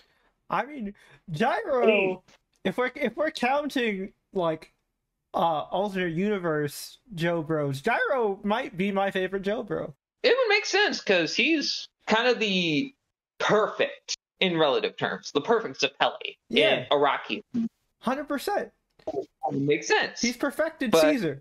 hmm And one of the funniest things about that, right? There's a little bit of a Rihanna reference because you know how in uh, the song Umbrella there's that Ella, Ella, Ella. Uh huh. He did that, uh, making a cheese pun. Oh, nice. So Now that makes sense. it, it involves mozzarella. It's just great. It was just this perfect thing. Sweet. Sorry, sorry, we're nerding out, folks. But like, jo jo JoJo's like a, a big thing. Ah man, I gotta I gotta sh- I gotta show you some of the the Fate ones I found in terms of like nerdcore stuff. There's there's some really good shit. Nice. Also, Uh, just I just want to bring up real quick, quick side note. Speaking about music, and uh, you were talking about uh, female pop punk. Mhm. That reminded me that I forgot to mention this a while back. But uh, Cassadee Pope has a new song where she's gone back to uh, pop rock. Nice. nice. Oh. Dropped out of her country stuff. Did you Uh, uh, she teamed up with Mhm. another chick named Taylor Acorn. did you end up did uh, awesome listening to called the uh did you end up listening to the Olivia Rodrigo album yet, Brian? Like I uh, I know I was talked commenting on about- it when you were. Okay. I I, I've listened to like half of it. Okay. Because like I now I remember you were commenting on it, but like I I know you said you had said you didn't finish it, so I was wondering if you had finished it. Oh no, but I agree with mostly what you're saying. hmm Okay. Cool. Um, Also, uh, I will say, Jay, mhm. Rustage starts off the JoJo rap as. Jonathan. Yo, Jonathan. Jonathan is part two. Jonathan is probably like he's tied with Jotaro for me as my favorite Joestar. Jonathan is part one. Oh, oh, You're wait. thinking. oh, I'm thinking Joseph. Yeah, I'm thinking Joseph. Yeah, jo- John. That- Jo- yeah, jo- Jonathan was Phantom Blood. My bad. Yeah, Nux actually did. Uh, Jonathan uh, did Joseph's. Oh, cool. Good. Nice. Uh, I, I, didn't- even though Jonathan, no, no, Joseph. Now I'm doing it. yeah. See, see. You got me doing it. God damn. It's cause it's cause he was raised by Suzy Q, or not Suzy Q. Yeah. No. No. Suzy, No, no, was, Su- Suzy uh, Q was Joseph's wife. I'm doing it again. I'm confusing Jonathan and fucking Joseph. God damn it. This is Okay. this has to be how my this has to be how my grandparents feel about all the J names. I get it now. Point being, Joseph Joestar is my favorite JoJo because he is not only kind-hearted at times, but just a quick-thinking, trash-talking, smooth-talking, swashbuckler kind of character. Yeah. I love. Joseph jo- Joseph Joestar is the Han Solo of the JoJo universe. Like, Oh hell yeah, one hundred percent, and he is fantastic. mhm. But Nux, he does good, but part of it's kind of it's Nux's voice. I was just about to say I I can't picture his voice because of you know, uh, and no offense to Nux, I love his content, but like, Yeah, his voice Nux is great. His voice is too high pitched for Joseph. Yeah, but he does mention uh, Hermit Purple, Nice. which is cool. But when you have to like go after Rustage, that's a bit of a That's a tough act to follow. That's definitely a tough Yeah. act to follow. Ru- Ru- But- Rustage is uh, Rustage is pretty goaded. But back to uh, the Jobro rap. I loved just musically the flow and the talented uh, lady that they got to do Hermes. hmm phenomenal. Nice. Her flow was great. Her character related puns and references were fantastic. It's all it's always good when they put care into like the uh, female characters they include in these ciphers. Because that was one of my big complaints with some of the uh, like poke girl ciphers that uh, have been put out is that like you can like some some of the girls like clearly outshine some of the others. And it was just like man I mean, gra- Yeah. granted, like the ones who outshine the others are the better Poke girls, like your Cynthia. Cynthia, I, I don't remember who it was, but Cynthia in one of those was fucking crazy. Oh, here's something really ridiculous, right? I Mhm. think I showed one of uh, Cam Steady's uh, Pokemon related ciphers. It was Mhm. Rivals. yeah, I remember this very Yep, well yep. because Chi Chi did the one of the friend trio from uh, X and Y. oh, was was the- it was it Shauna? Was it Shauna? No, yeah, Shauna, the young young lady. Yeah, yeah, I, Yeah, I, the- yeah. I figured it wasn't Serena, so it had to be Shauna. Yeah, because they did Serena as the protagonist for X Y. Yeah. So hmm it was her voice, and that's why I just didn't like the pop punk aesthetic when it come when it came to her flow. Yeah, for look, that's why that's why I'm saying you know Demon Dice would have been perfect for it because like you know anybody who is a uh, like an avid Hololive fan knows that well not that Demon Dice and Callie are the same person obviously not but like Yeah, you know not. No. you know their their flows are very very similar and like i think she would have been perfect for jolyne because she has that aggressive attitude but still can be very cute on the inside which is exactly what jolyne is she's super hard and aggressive but she's actually like really cutesy on the inside and it's adorable But speaking of uh, VTubers doing anime ciphers, hmm Mousy actually did one. Oh shit! Really? Yeah, she uh, when it came to women of anime, Uh huh. one good cipher that I highly recommend. All right, you definitely Uh, have to link me that one. I'm curious. Ethico, actually. Oh no, that makes sense. Tiny, tiny character for tiny voice. And the selection of characters that they got for this uh, cipher, Nami was uh, One Piece representation. Nice, nice. Was Saber in this? Nope, No Saber. Huh. no Saber. Uh, if I recall, it was uh, Uraraka Okay. from uh, My Hero. okay. Ochako. Uh, Not uh, expected. Mikasa from uh, AOT. Attack on Titan. Mm-hmm. Ho- uh, the Fire Witch from uh, Fire Force. I think Oh. her name's Maki. Oh. The muscle. Yeah, yeah, mu- yeah. Muscle waifu Maki. Yeah, fucking best Yeah. girl. I, I'm glad. It, I'm glad it wasn't just a fan service cat bitch, because I don't. Nah. I, I don't like fan service cat bitch. Oh, and to end that cipher, because a lot of the others were Mm-hmm. pretty damn. But Chi Chi brings it home as Sailor Moon herself. Oh, nice, It was great. Well, I'm just recommending it. nice. In terms of.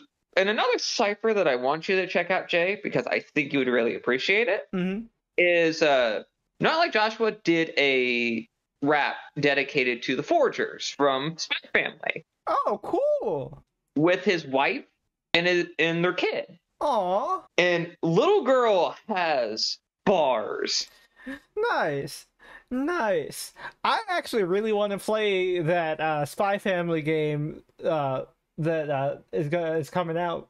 Uh, Yeah, soon. that that looks fun. That looks adorable. Yeah, but I, I also found out it has a PC port, so I could I could actually stream that. something that's tangentially related, Mhm. I finished the first part of Pokemon Scarlet and Violet's DLC, The Hidden Treasure of Area Zero, the Teal Mask. It was a fun experience Yeah, for you, this first you you fi- you filled me uh you filled me in on some of it off camera. I Nice. like you can you convinced me to eventually get the DLC this time around because Yeah, it actually and- seems worth it. And here's uh, some things that I forgot to mention to you, Jay, because hmm I had to leave. but there's no disconnect in the the two parts of the DLC. There are parts for a reason because they tell a semi-continuous story with character progression. Oh, that's cool. Because uh, the characters we meet in the Teal Mask, Carmine and Kieran, are at Blueberry Academy.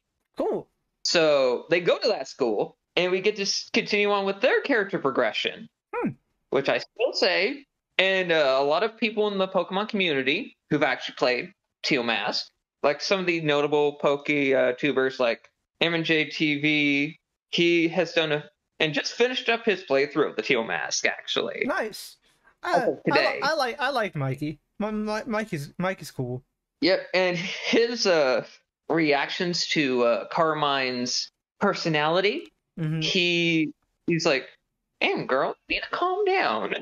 Yeah, lo- look, I, I've seen I've seen a lot of fan comics on Twitter that she's like the super tsundere. Oh no no no no, Jay.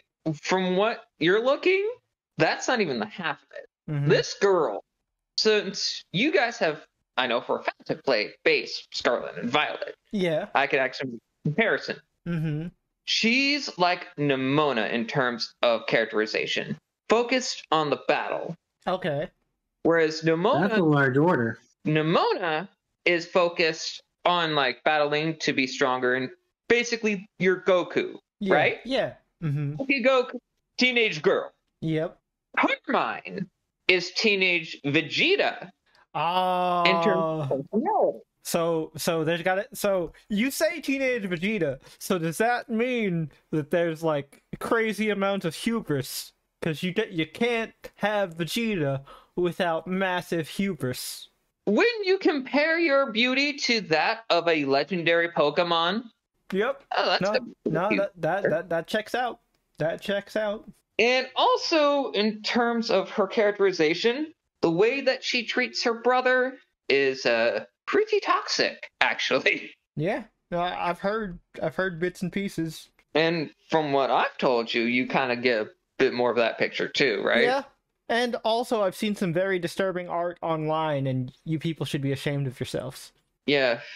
Uh, Uh, but I gotta say, this DLC blew out, completely annihilated Sword and Shield's DLC out of the water. That's good to hear because I was pissed off that I spent 30 bucks on nothing. Yeah, it okay. I can forgive a little bit. Not a lot, but just like one percent. The, the, the- 1%. like, the mustard, the parts with mustard and Urshifu were awesome, but there was nothing after that.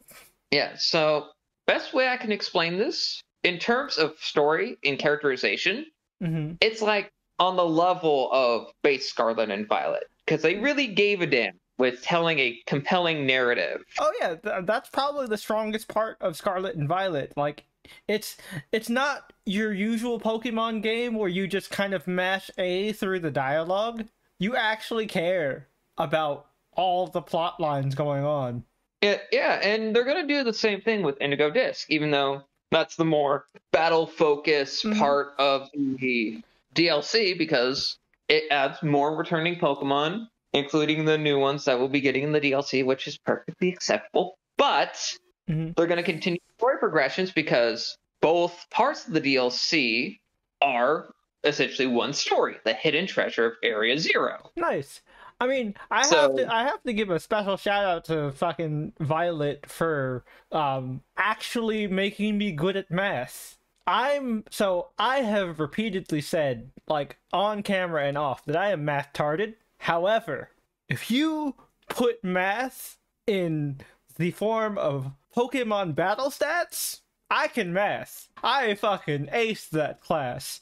The only class the only class I did not ace was the fucking language class because I couldn't couldn't fucking communicate with that goddamn Pikachu and its tricky expressions. Yeah, apparently I was able to like do really well with all of the different courses, Yeah. except for a few questions I got wrong. But hey, it is what the, it te- the teacher sub stories were really good. I was expecting them to just kind of be boring. A boring little side quest, but like they were really interesting. Like especially like Nurse Miriam's. Nurse Miriam is probably my favorite.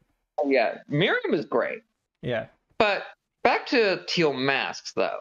It's got to be one of my favorite little stories in terms of uh, all in all of Pokemon when it concerns a legendary Cool.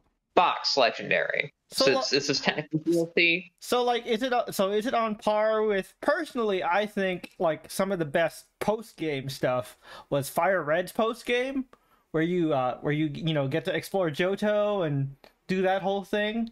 No, wouldn't with Fire Red you go to the Sevii Isle. Oh yeah, Sevii Islands, yeah. The Sevii Island But- stuff was really good. Yeah, hmm it is actually. If you want to think of it, it's like post game content because with Teal Mask you can actually start it as soon as you start the treasure hunt. hmm in Scarlet and Violet, when people kind of restart it, it Yeah. scales to match with what your current level would be. Cool. So, like I mentioned to you, and just to give Brian that bit of information if he's interested in purchasing it.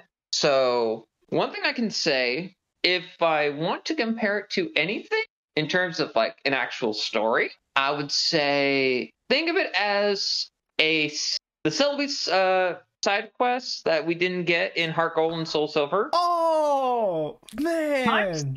can do a fusion dance with the Isle of Armor Okay. in terms of like New locations, new Pokemon. Yeah. hmm like adding returning Pokemon and what's up and whatnot. hmm So combine the legendary Poke, well, mythical, but you know what I mean. Yeah. Combining that level of storytelling with a DLC model hmm like Isle of Armor, fusing them together to create the Teal Mask. Yeah, which I has- mean, look, the teal mask already earned major points for me when I looked at Poke Twitter and I saw a Perrin. And Perrin's quest, even though, yes, it is a bit egregious to do so, but with the thing you get at the end of that quest, it is worth getting 150 Pokemon in the Kitakami Pokedex, Listen, which you can easily listen, do listen, kids. All you gotta fun. do is have friends. Just have friends. not only have friends, but also you, if you caught a lot of Mon in base Paldea, it would be in the Kitakami Pokedex too. Yep. Or So you're fine. you know, even if even if you're like me and you only catch for your battle team, that's when you just have friends. Now I have to do something really damn stupid because uh, DLC can make it really easy to uh, fill out and get your an actual like Dex completed uh, certificate. Oh, cool. And you get the shiny charm. You can get the shiny charm with uh, the base one. I haven't done that yet because I still need the Violet Paradox Pokemon, Oh, right, which I do not have. My bad. My bad. My bad. It's all good, homie. You are busy with other stuff, so Yep. Yeah, I I, I'm ha- not mad. I I haven't I haven't touched Violet since I beat it, even though like I really should be exploring Area Zero. so it's all good. Mhm. But now you can get a fun excuse to actually play through the Teal Mask when you actually get it sometime in the holiday season when Yep. the Indigo Disc would be coming out. Yep, yep, that's the plan.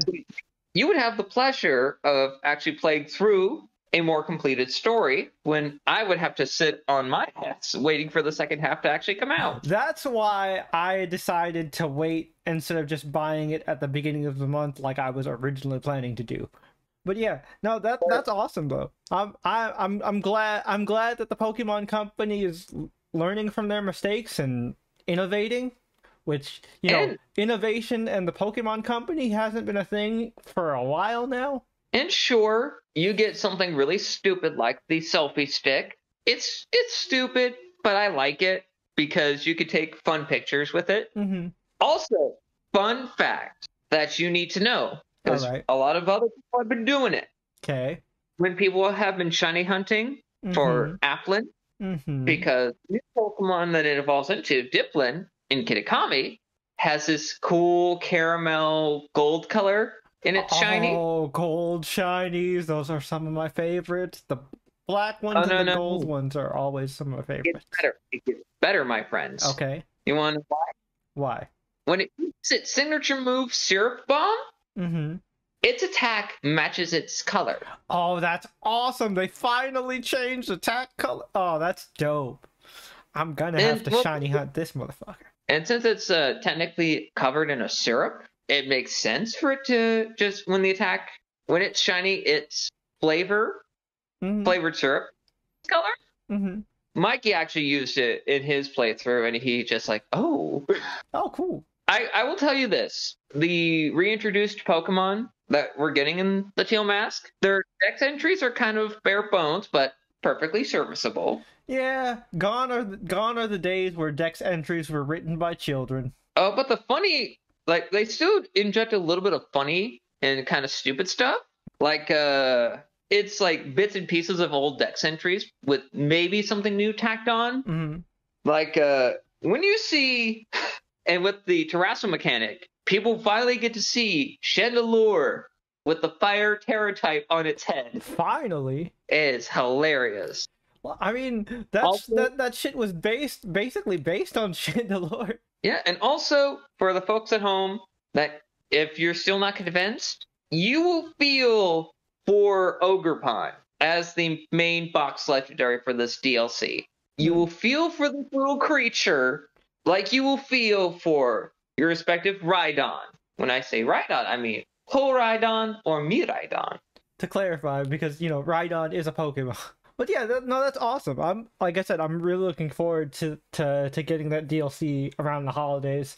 Um, lastly, because I forgot to mention this, and you reminded me when uh, you brought up YouTube stuff. I went down a pretty big uh, YouTube rabbit hole. I discovered the channel of this impressionist comedian that uh, that's uh, named uh, Charlie Hopkins uh, Hopkinson Mm. and uh he has this series called uh obi-wan reacts and so what he does right is he deep fakes ewan mcgregor's face liam neeson's face and hayden christensen's face onto himself. And he does impressions of ewan liam and hayden. And they all like talk about the piece of Star Wars media and like you know crack jokes and talk shit and like it's a it's a funny running gag because like the Anakin for this show was grown in a bacta tank from Anakin's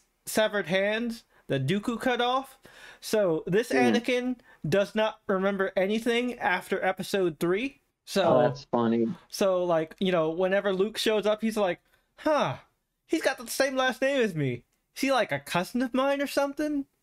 And Obi Wan, Huh. and Obi Wan's just like, "Don't worry, all will be clear." And like, it, it, it has some it has some really funny jokes.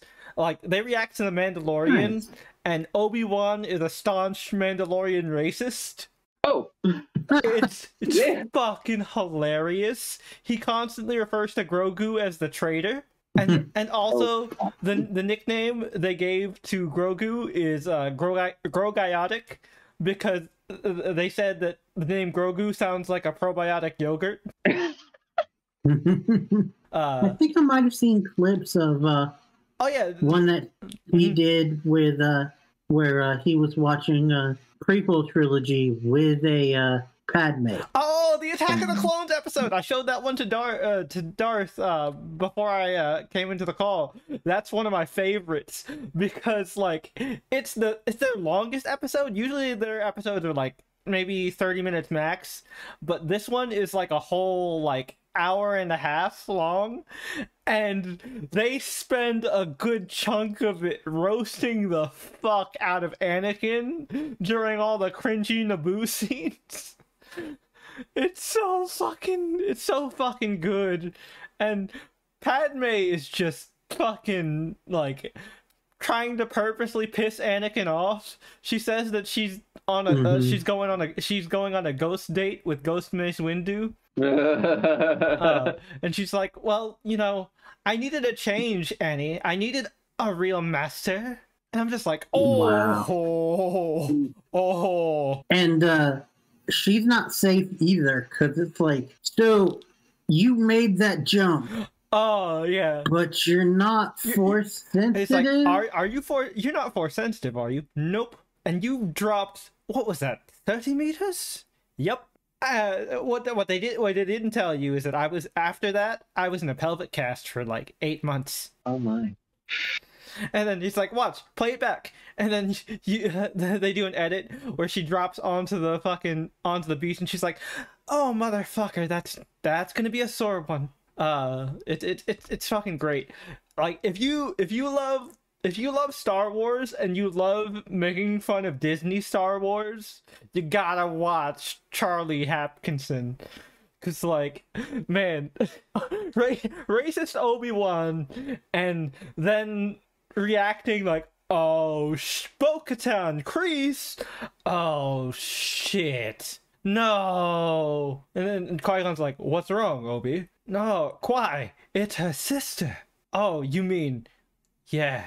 And then uh, one of my, one of my favorite things during the, the Clone Wars episode is like, oh yeah, and Anakin's like, oh yeah, Obi, oh yeah, Master. Well, wait till we wait till we make Master Qui Gon watch the Clone Wars and see how uh, let's see how you fare. It's like, well, we're not watching it because this is my show and I get to dictate what we watch and what we don't watch. Not that I did anything cringy or super cutesy in my relationship. Not that I had a relationship uh, it, it's just it's so fucking funny.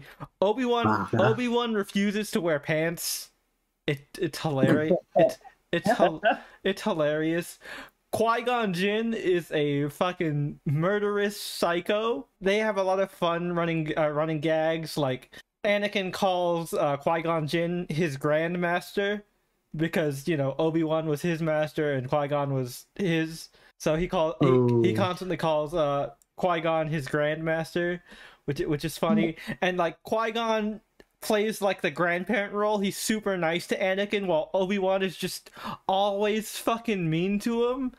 And uh, the uh, the other running gag is that Obi Wan constantly drugs clone Anakin's ham so that he uh, he so he stays like loopy and sedated the whole time so that he can suppress his dark side impulses and like the funniest running gag is that Qui-Gon doesn't they haven't gotten to the uh like the end of the prequel trilogy yet. So Qui-Gon has no idea that Anakin is Darth Vader.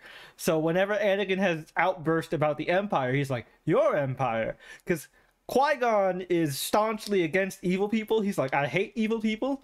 I'd never get along with them, and I could never ever be friends with them." And Anakin's just like, "No, uh, uh, Okay. Oh man, and then the, my favorite part of the the Clone Wars episode was when uh, they have that scene where Obi Wan goes into the classroom with the younglings, and as soon as the younglings come on screen, fucking Anakin is seething.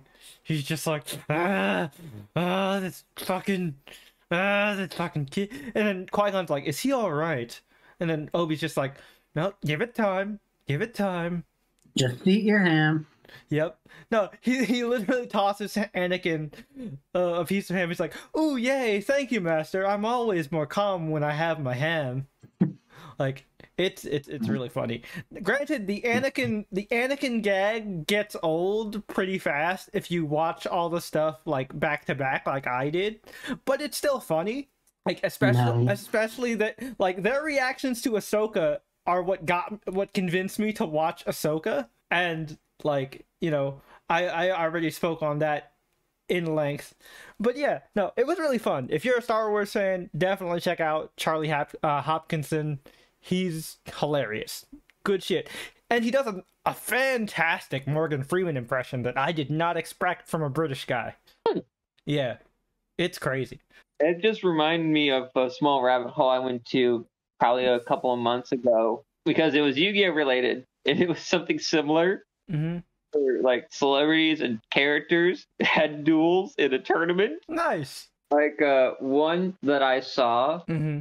Well, one that I saw the thumbnail for, which I I need to watch because it's out of morbid curiosity because I I want to know mm-hmm. what kind of these individuals be rolling with. Okay. Ben Shapiro versus Ultron. Well, obviously Ultron has to run like Cyber Dragons or some kind of machine deck. I could also see Ultron yeah. running like ABCs, but Ben Shapiro yeah. has to run something very dry because apparently he likes dry pussy. Uh, but I think it is about time for us to actually get to something that's also quite funny. Yep, but before that, we gotta we yeah. gotta jump to trailer talk.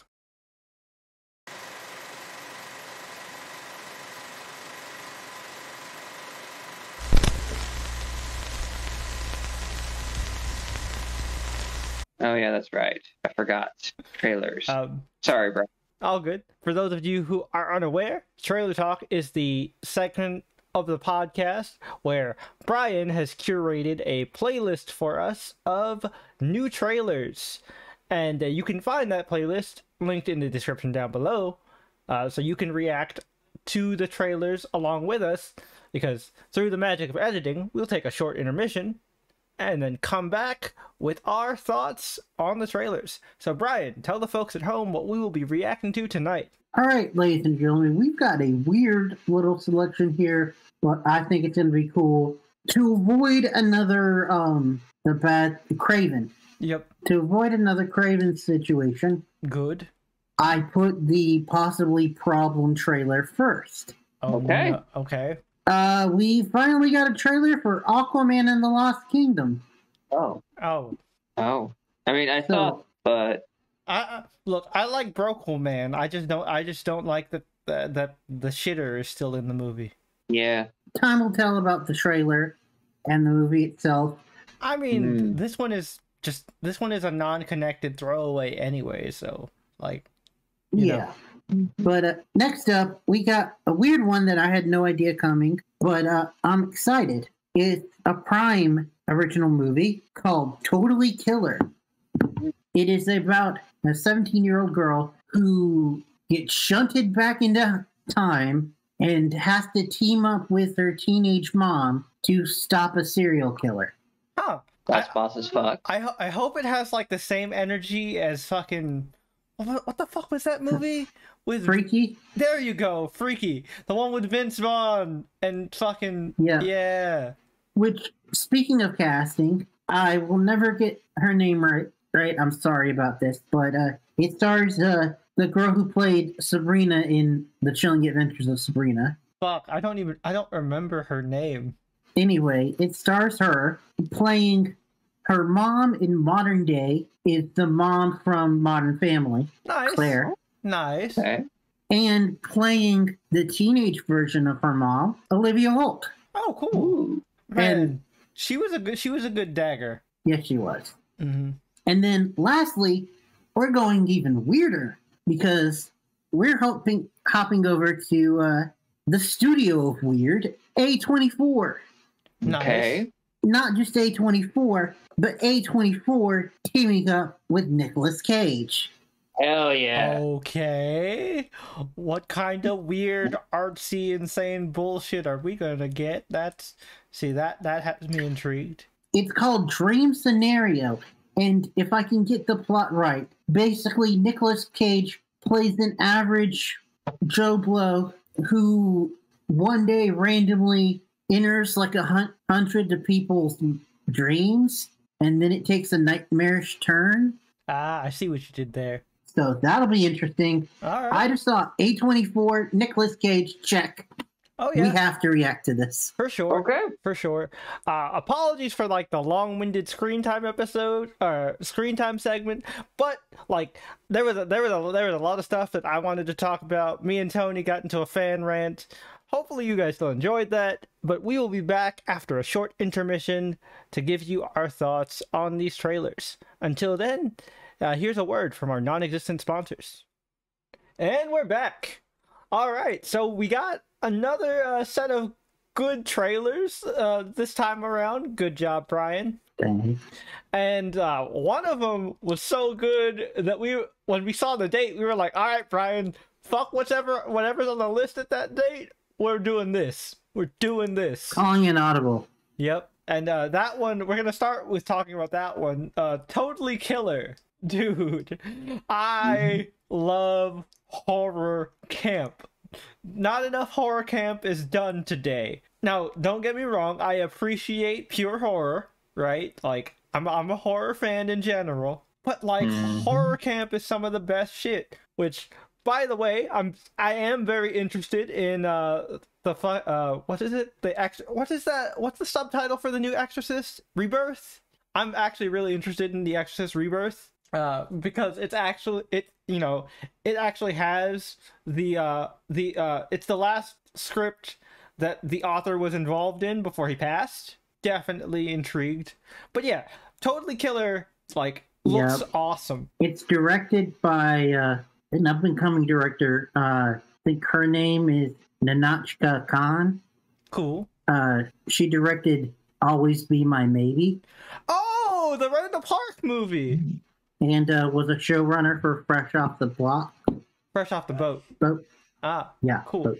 uh, who who was the who was the female lead in that? Always be my baby.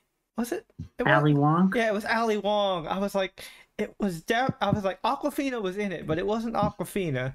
Though the male lead in that, Yep. Randall Park, is also in this. Oh, cool. You saw him. He was one of the cops. Yeah, yeah.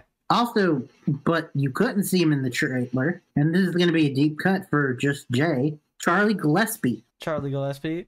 Name sounds familiar. Uh, he was uh, Luke in Julie and the Phantoms. Oh shit, man! Another fucking lost episode from like a previous iteration of the podcast. Jesus Christ!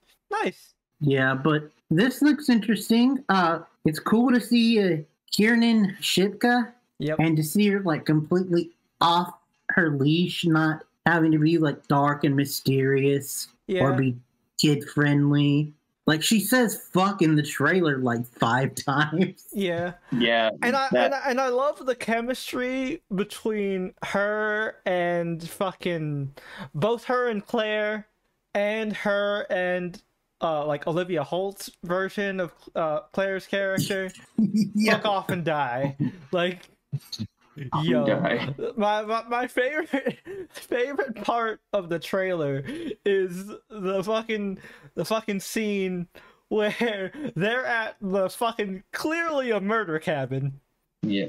and Mhm. like you know Shipka uh, like like Kiernan is being completely logical and you know it's actually the sane white person in this conversation and it's like you guys this is there's a murderer on the loose and we're in a cabin in the middle of the woods and then one of her mom's friends is just like oh no finally someone gets it. No i forgot vodka. Oh man. Yeah. that that was that was re- that was really funny.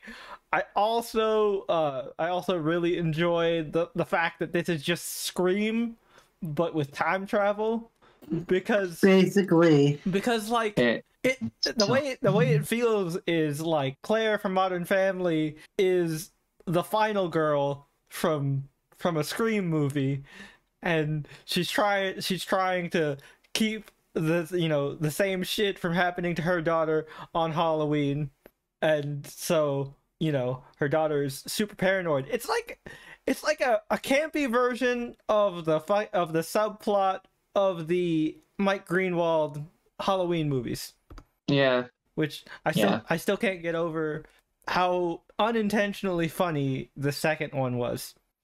Oh man, evil dies tonight. Uh, but yeah, it's really fun. It looks really fun. I, I I think it's gonna be a blast to cover, and it fits the spooky vibe of October. So definitely down. Yeah. Yes, it does.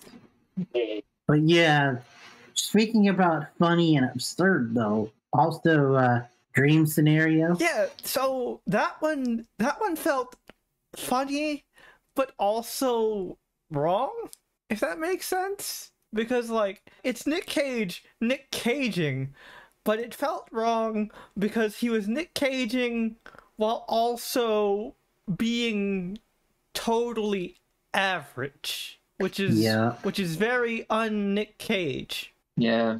Also, it had a weird horror, not horror vibe to it. Yeah. I still don't know what like I don't I don't think it's a horror, honestly. It, like it feels more just like a black comedy. Yeah, I, I think so too.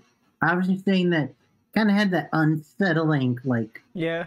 horror esque vibe to it, but And, like you said, it just felt off. and apparently a lot of people want to fuck balding middle-aged dad Nicolas Cage. Because Apparently. like from the from the descriptions of some of those ladies, like they were having wet dreams about Midwestern dad Nicolas Cage. Yeah. And like you know, I I joke I joked with the guys like, come on, who hasn't dreamed about Nicolas Cage at least once? Because I I've actually had a dream like I've actually had a dream where I was on on board of Con Air and I had to I had to help Nick Cage fight off the fight off the convicts. It was it was fun doing hood rat shit with Nicolas Cage. Hell yeah. But yeah, that that was a fun one. Uh, And Aquaman. yeah. So Aquaman, it it just exists. Aquaman was okay. It, it's the it's the definition of meh. But I have to give it. I have to give it big props as a pun master. I gotta tip my non-existent invisible hat to whichever fucking trailer editor showing, you know, Momoa Aquaman, Broquaman, and splicing it with a line of Orm saying, "If you lead, the seven kingdoms will follow." On on first pass, I was the only one who got it, and then I had to replay it, and then Tony got it, and then Brian was still kind of slow on the uptake. I I had to like I had to say it out loud. You just said Seven Kingdoms again, and it clicked in my brain. Yeah, man, that that was that was fucking funny. So now Khal Drogo finally gets to live out his dream and conquer the seven kingdoms. Yep, and he gets to do it with uh with a home dude from The Happening, Yeah, uh, not The Happening, uh, Conjuring. Or Conjuring. His name is like Patrick something. he was also uh, the second Night Owl He in was. uh, Watchmen. Yeah, fucking. It's Patrick something. Uh, His name. I know his first name is Patrick. Wilson. Patrick Wilson. Patrick Wilson. Thank you. He's in a lot of He stuff was also, with Vera uh, Farmiga outside of uh outside of The Conjuring. He was also Raoul in Phantom of the Opera. Huh? Like the Gerard Oh Butler one? yes, he was. Yeah, Oh shit! Oh my god. Uh, God, Gerard Butler Phantom of the Opera is a beautiful disaster. it was a beautiful. mm, with a great theme song. Oh yeah, I mean, you get Nightwish to do man. your song, It was and with the original singer. yeah, it was the most Andrew Lloyd Webber movie I have ever seen. And if you're a musical theater geek, you know what that means because Andrew Lloyd Webber is extra over the top and super up his own ass. He is the Oh yeah, for real. Um, fucker on the planet. Mm-hmm. but Black Manta does look like he could be a cool villain, if not one note. Yep. It'll be cool to see more of the brothers together. Yeah. Apparently, for according to James Wan, the plan for the movie was always to have it be focusing on the brothers and to have uh, Mera have a smaller role hmm even before all the stuff came out about the actress. Before her shit hit the fan, or I, I guess they're bad. Yes. Also, I will say one uh, weird thing Uh huh. is that uh, apparently due to scheduling, they couldn't get William Dafoe back. Oh no, Vulko! Damn. So they said uh, that uh, they gave uh, Nicole Kidman a bigger part to Oh, be the new mentor. Yeah, yeah, cause, yeah. Cause she's, cause she's, cause she's fucking Atlanna. Oh, So- by the way, That makes sense. did you notice who was playing Atlanna? The King, Oh, you, oh, you mean Atlan? Uh, Atlan. Yeah, No. Grandpa from One Piece. Oh shit, that's Garp. Oh shit. Yep, Garp! Oh man, yep. That motherfucker. that's crazy. He is also that character is also the only character in the DCEU to be played by three separate characters, So he gets Oh to, he gets to play separate actors. he gets to play another Um. main character's aggressively Scottish grandpa. Cool. Yup. Uh, also, all this movie has to do to win me over is to have Nanaue be in the movie. Just, just let King Shark show up one time. If you look in the trailer, Nanaue isn't in it, but a hammerhead shark person is. Oh, cool. And that's their King Shark, from what I've seen. Huh. Yeah. So, Yeah. so their, so that, so their King Shark is different from the actual main universe King Shark. Apparently. Also, King Shark Or was al- just- King Shark was always a great white, not a hammerhead. What the fuck? I don't I think they said that he's supposed to be like from a race of sharks. Yeah. If they want to make him a weird, make it a different Shark Man, that's good on them. Shark Man rep. I don't know. Listen, I mean, better, he's a, better looking physical than uh, I was some gonna of the practical. I was gonna, I was ones. I was just about to say he's probably gonna be a better shark man than Arlong. Mm-hmm. Which, But uh, anyway, Yep. that's it for trailers. Yep. So now we get into the main discussion after fucking three hours of fluff. Which there was an episode to have that much fluff. It's definitely this one. It would be um, this one. You know, I'll, I guess I'll start off right, right off the bat in the spoiler-free like initial thoughts section. Yeah, this movie was good, and notice the octave there. I I liked it for sure, but like it was one of those movies where you like unconsciously find yourself on your phone during it. That was that was that was the thing I had, which is why I told the guys I was like, "All right, I'm gonna be real with y'all. I was only half paying attention while watching this movie." I can totally get that, and I agree with what you said, inflection and all. Mm-hmm. Because uh, to me, the way to fix this, I feel like, would be to tighten it up to about 40 minutes and have it be the first episode of a TV show. Yeah, it felt. Yeah, See, felt like a I was. extended you know TV what? pilot. That's that's what it was. I I was I was trying to figure out why it bothered me, and I was like, this didn't feel like a movie. This felt like those. You know, back in the day when they had uh like especially the Disney afternoon cartoons where they would put uh like make a two part pilot so that they could make oh, yeah. so they could make the VHS into a like a like a home video movie, even though it's not really a movie. It's just two episodes Mhm. stitched together.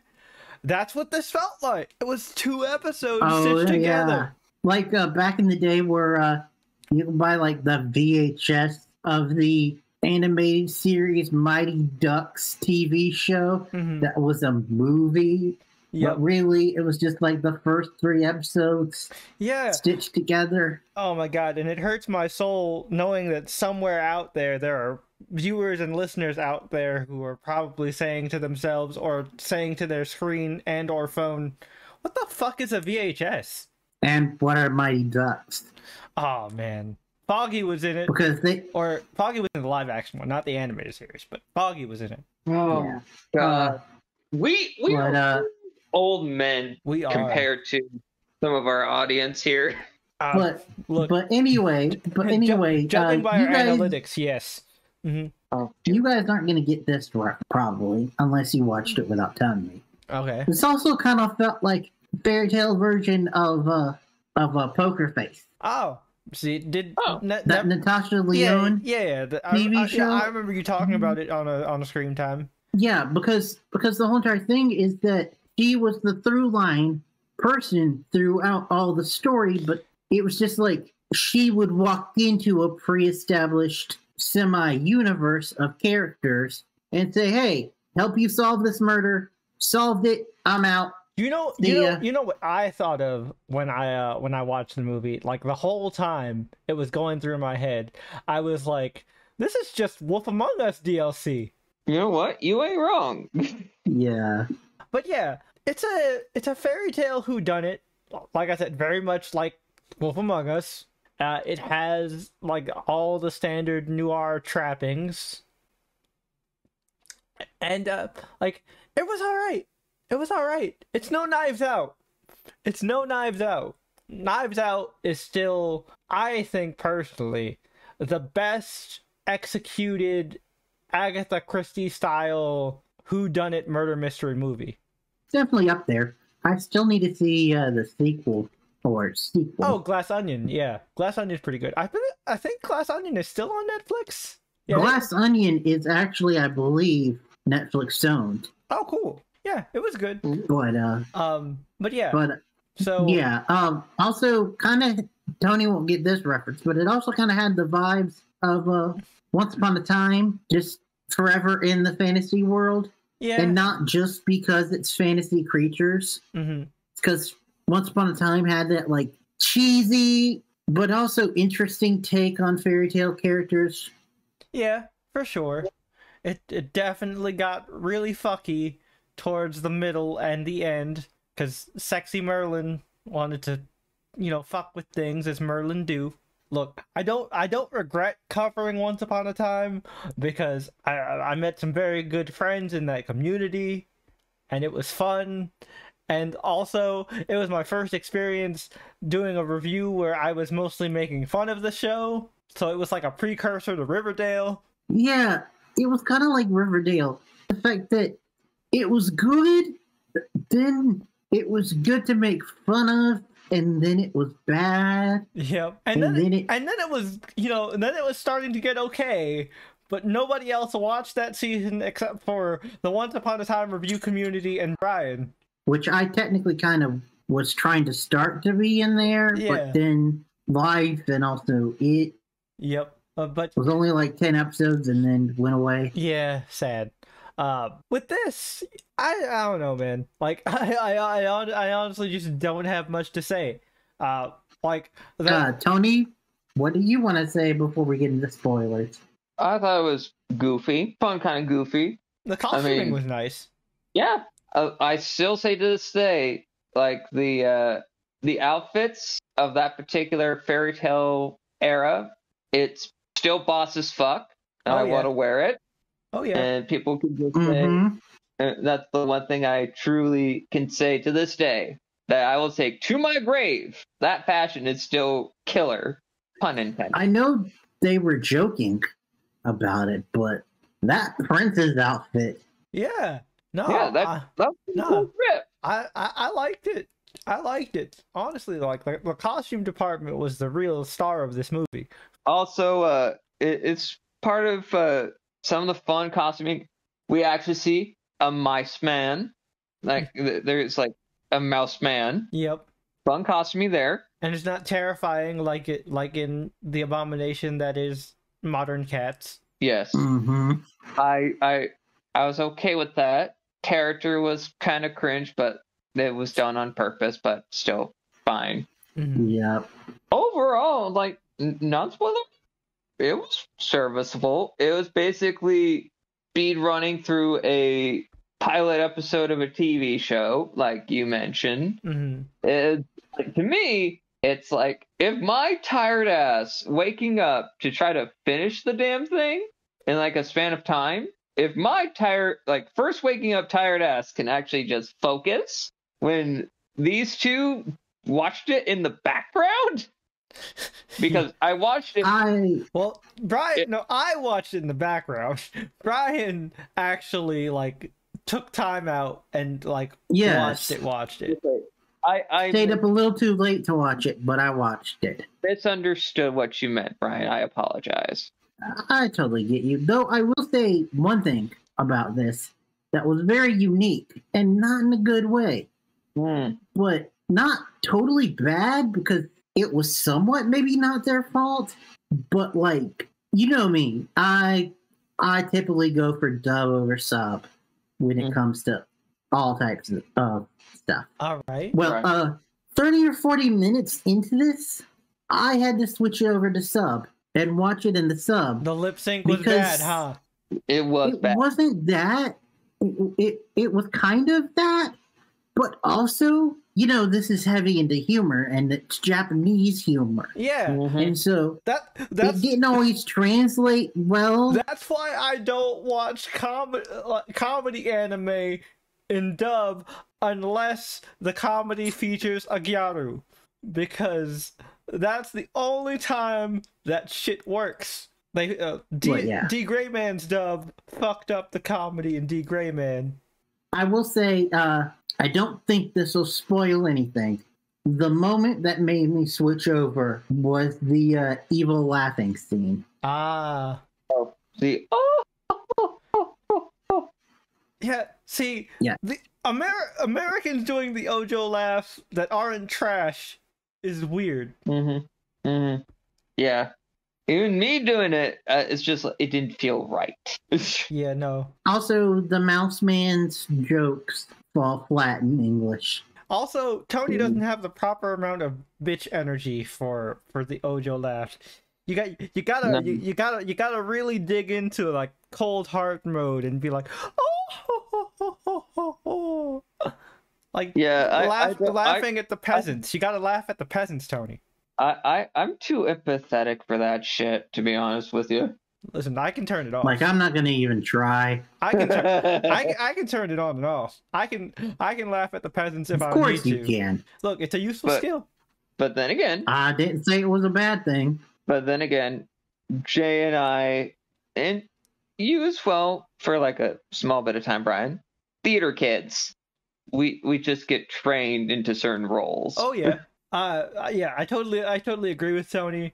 This movie is definitely a theater kids movie. So now we're going to go ahead and get into the spoiler portion of the podcast. So I'm going to give you guys your customary uh spoiler countdown if you actually care and want to, you know, solve the mystery on your own.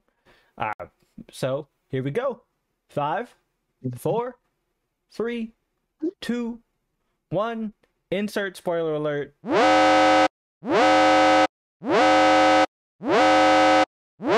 Right. Um, I think it, I think the movie was well structured in terms of uh, who done it. Uh, what do you guys think about it? I really enjoyed aspects of this movie, if I have to be perfectly honest. Yeah. Like, Mm-hmm. I really enjoyed like a lot of the fantasy elements. Little Red as the protagonist Yeah. was great. She did amazing. Costuming, fantastic. Mm-hmm.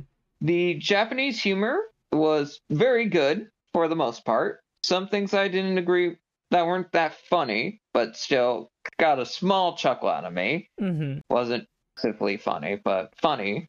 Is do like the like character actions because sometimes when it comes to like differing brands of humor, it's all subjective. Yeah, for sure. I liked aspects of the plot, but it still felt like some stuff was missing.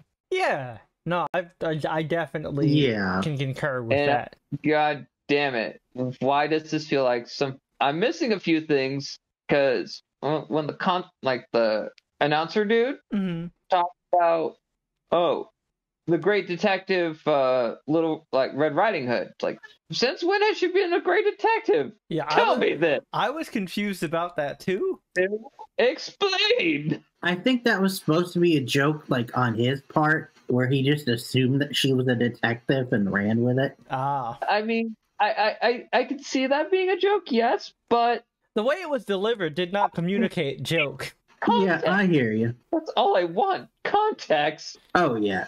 Now, once Brian made the TV show comparison, it all clicked in my head of why I didn't exact like why I like this movie, but why I only liked it when on paper and honestly for the most part on display, I should have by all accounts loved this movie. Yeah. Because you know, like we mentioned before, this is a fucking theater kid ass movie. It it has the right Yeah. amount of cringe that you know theater pe- theater people are can tolerate because theater people are just built different when it comes to cringe. like our cringe tolerance is a lot higher compared to the average average folk Yeah, You I mean, like one of the most popular series that both Brian and I covered back in the day was High School Musical, the musical, the series, and hmm we often described that as what would happen if Glee and, and The Office had a awkward little cringe baby.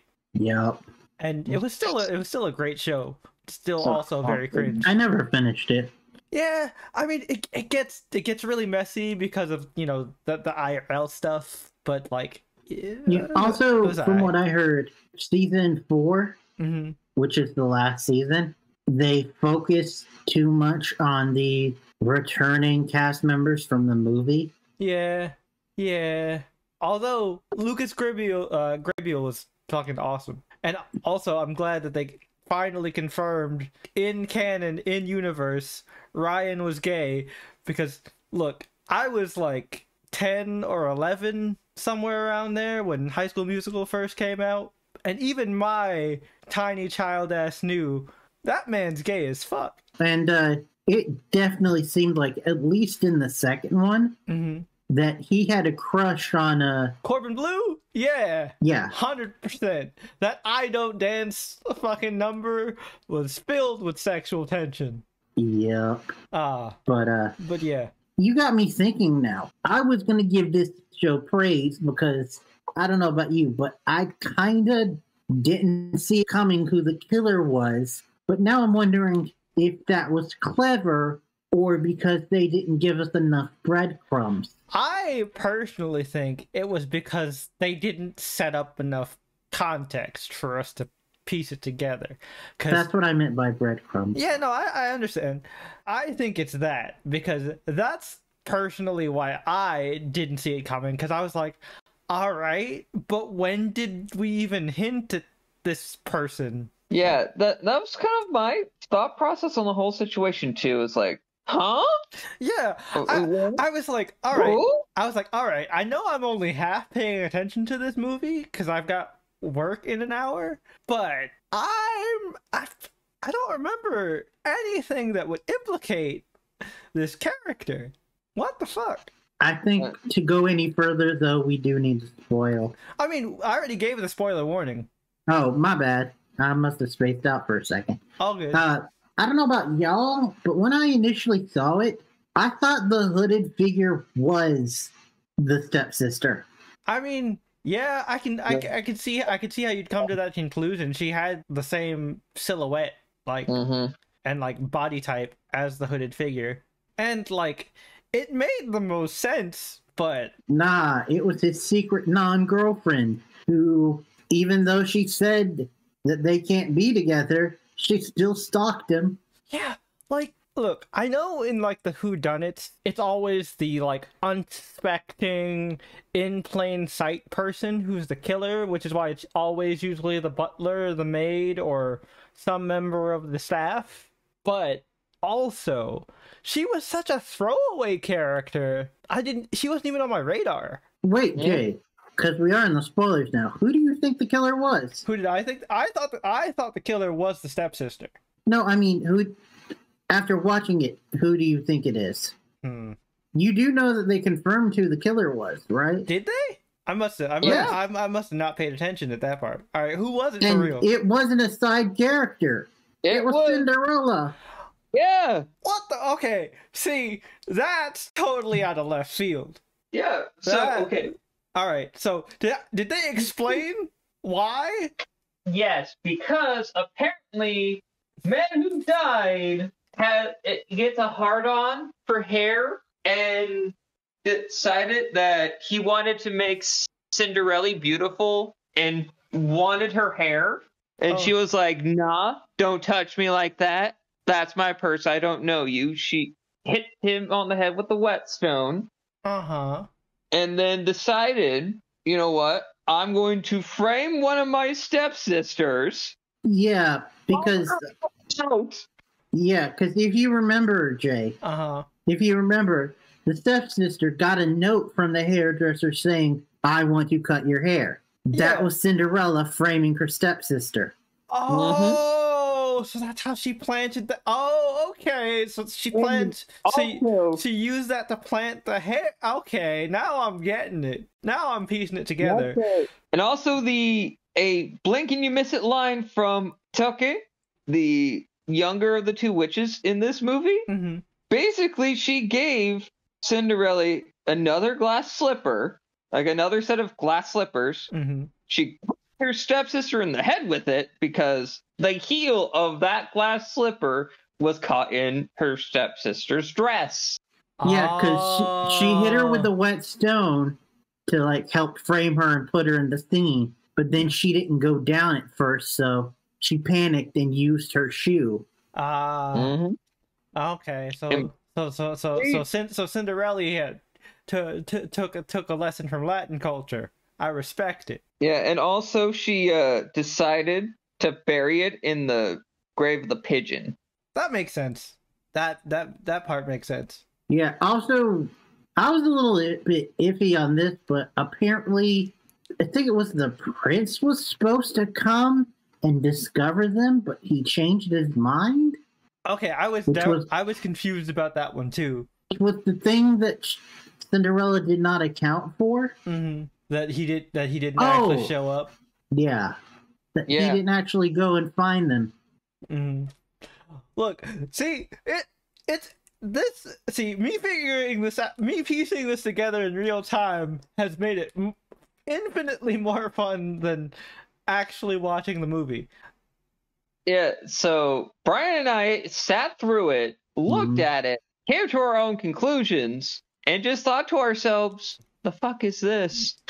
Exactly. And then and then you were talking about it, Jay, and I was like, an insignificant character. Do you really know who did it?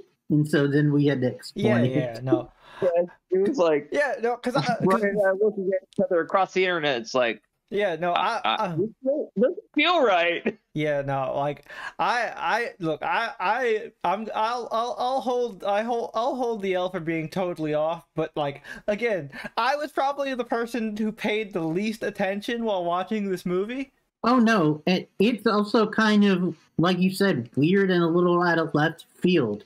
It kind of almost feels like, in a way, Mm-hmm. like similar to something like D and D, where or some other remix that we've seen before, where you bog down an established character so that your OC can shine. Mm-hmm. Because after the prince comes and fits the shoe into Cinderella, confirming that she's the killer, Yep. and you think everything's all sad, Red's like, oh yeah, no, your long lost girlfriend, she's the one that testified on your behalf. You guys can be happily, live happily ever after. See, I thought it was stalk. I, th- I thought it was random stalker girlfriend the whole time. No. Yeah, it it could give off that vibe, but here's the dumb part.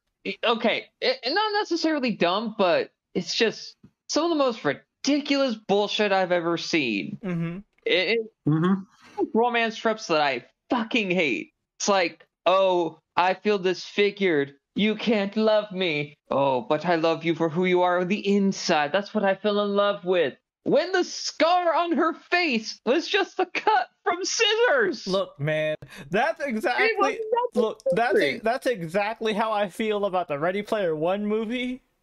Because, like, all right, let me let me let me go let me go on this tangent real quick because this is related. So, the Ready Player One movie, or in the book, uh, Sam is described as like you know not conventionally pretty, right? She's she's like very frumpy looking. Th- They cast Olivia Cooke, who for people who people for people who don't recognize the name, was Alicent Hightower in the House of the Dragon, Who's dumb as fuck? who is like drop dead gorgeous, but then her deformity that gives her this complex about not being a pretty girl was this fucking weird rash on half of her face. Wasn't even like unsettling. Like it wasn't like she was like it wasn't like she was two faced and like burned on like the whole side of her face.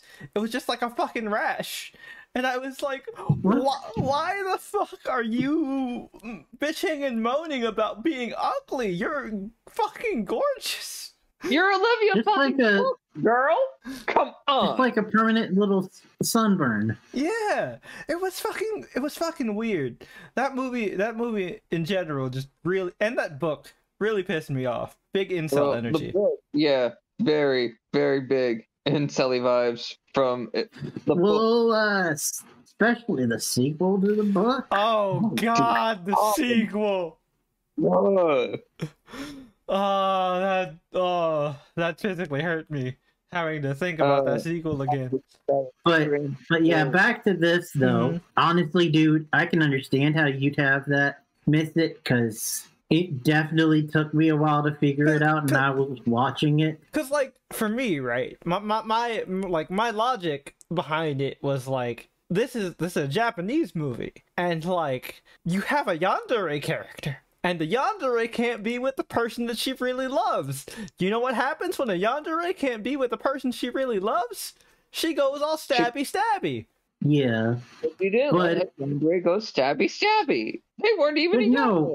No. no, she was just placeholder so we can have a happily ever after while subverting the fairy tale. which is which Yeah. is weird, cause like you set her up to be a yandere. hmm It's Well, but- I don't know, man. And also, if you look at that scar, Brian, Jay, uh-huh. if you saw that thing, you would agree with me. That is nothing but a very big paper cut. if you're if you're self-conscious Yeah. about it, you could that's easy to hide with makeup. And that's what I thought. And if the people of that country are so goddamn superficial about a goddamn paper cut on your fucking face, You need to You move could to a different kingdom. But see, here's the thing that pisses me off about that. Okay. okay? Even when the flashback, when they showed them together, she said, "We can't be together because I'm a commoner and I'm not as pretty." Yeah. And he says, "You're the prettiest woman in the world to me." yeah. And so Oh I, my I god. yeah, which is why I don't understand the logic of oh no, you you can't love me. I'm a disfigured horrible beast. And it's just like bitch, he admitted to you early on in your relationship that he doesn't give a fuck about your status or what you look like. So why the fuck are you throwing a fit? Oh, it's not Also, it's not just the ladies about that triple that I fucking hate too. It's the same thing for dudes. And it's like Hon- a percentage higher cringier Oh, when it's honestly, dudes. honestly, with, du- with, with dudes, it's a lot more egregious. Like, oh yeah. I, I don't know, oh, I don't know if you e- you guys ever saw the shitty uh, Vanessa Hudgens Beauty and the Beast retelling, Beastly. oh god, Ugh. Like, I haven't seen that shit, but it's still I got I physically cringe just Like- hearing that. like, Alex Pettyfer and uh, and Vanessa Ashley. Hudgens. Oh no, Mary Kate.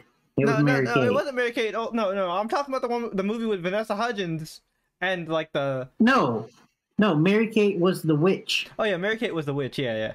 But fucking like he was all emo and mopey that like you know he was now this you know he went from super pretty boy Chad rich guy to ugly deformed monster when all it was was he was bald and had tattoos. There, Yeah. there are Oh my girls. God. There are Oh girls. my god. there are girls that love bald guys with tattoos.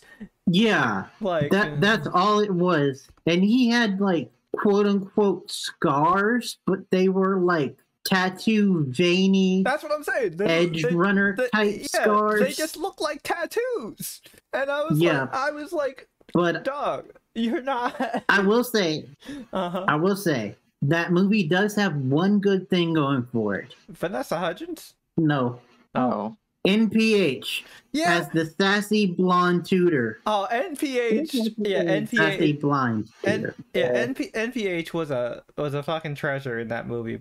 I heard some people say after that movie that uh, they wish that he could have played Matt. He could do it. All all you all you need to do for uh, to play Matt Murdock is to have red hair and to have mad riz. And we've seen NPH play Barney. He has mad riz. Yeah. But uh, That Riz is on point. see, that's how this movie is. Is it's so lackluster that we just effortlessly tangent away from it constantly Look, because I feel like the oh. tangents are more interesting than the bullshit Yeah, that went on exactly. with the movie. exactly because at the end of the day, this movie it's not bad, but it's lackluster. Look, it. I'm gonna. I'm gonna. I'm gonna say it straight up. I'm gonna say the exact same thing I said about Monkey King. This movie isn't bad, but it's aggressively forgettable. And I'm not Yeah. just saying that because I watched it in the background for the most part. Also, and didn't get who the killer was. Yeah. yes, but also one thing, eh, one thing that I just found really dumb because I, I can I just have a small moment to talk about something that I just found so damn stupid. Go off. It- it- okay, so when they're at the ball, right? Uh huh. And the main stepsister that was giving Cinderella shit, Mhm. Anne, which that dress, girl, that color of green doesn't look good on you. Yeah. Who Who hurt you? No. Your mama hates you, girl. Point being, when she was like pushing up her chest, you, they hear the you hear a bounce sound, Uh-huh. which in anime that's fine, but hearing that shit in live action, I cringed a little inside. Yeah, like, look, it works for One Piece because One Piece is supposed to be goofy and cartoony. So, like, the live action having the dumb sound effects was actually charming and endearing. But, like, doing the anime ecchi sound effects for a, a real life bit is just weird. It wasn't just that though, because the weird sound effects also were in other stuff too, like uh, when uh, she ran into the thorns. Oh, yeah, you're right. That's Also, because she was making those sounds because she hurt herself on the thorns. But I thought the thorns made a weird sound. Anyway, Well- go on. But the point I'm trying to make is okay, it is fine because it's meant to be more of a comedy. I get that. However, when it's egregious and you just let it play for a little too long, like a few seconds, then I would let it slide. Yeah, they, But they, they linger more. a lot. They linger a lot on jokes. They, they really had to linger on the bit when she was done pushing up her own chest. Then her mama did it to her. I'm like, okay, we are done with the bit. You you went too far. You went too long. Done. Nada. Yeah. No. No, like, all right. So I, I think I, I think I figured it out now. Like, what, uh, how I think this, uh, this movie could be could have been fixed. If this movie was instead a like twelve episode comedy anime or a four koma manga, I think it could work. Yeah. Or a four koma anime adaptation. I would accept Yeah, it yeah. if it was an adaptation of a four koma manga that to deal with murder. It, it would be fine. It would be fine. But no, they made it a fucking hour and 45 minute long movie that felt like two episodes stitched together rather poorly because my god, some pacing moments were just odd as fuck. Yeah, no, like for real. Yeah, I I, I will agree with that. I got the I, I got the some flashbacks to Ahsoka. Uh, like at, at the times I was paying attention. Uh, also, I do want to say that uh, Tony, you talking about the scar made me think about something else.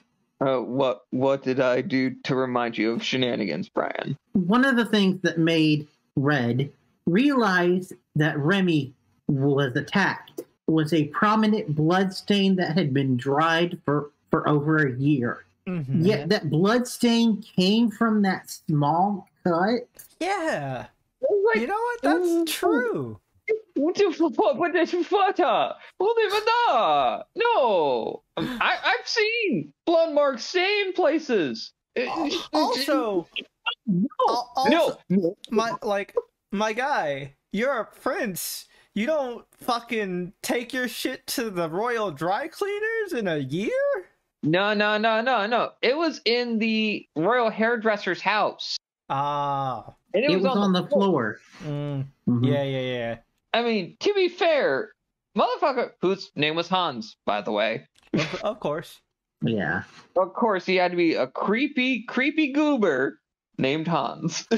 Yep. hmm One of one, one, one of the most celebrated fairy tale authors, always relegated to a creepy villain for some reason. or a rather cringe villain. Yeah, Thanks, Diz. yeah. Thanks for Yeah. that, Disney. We finished each other's sandwiches. Man.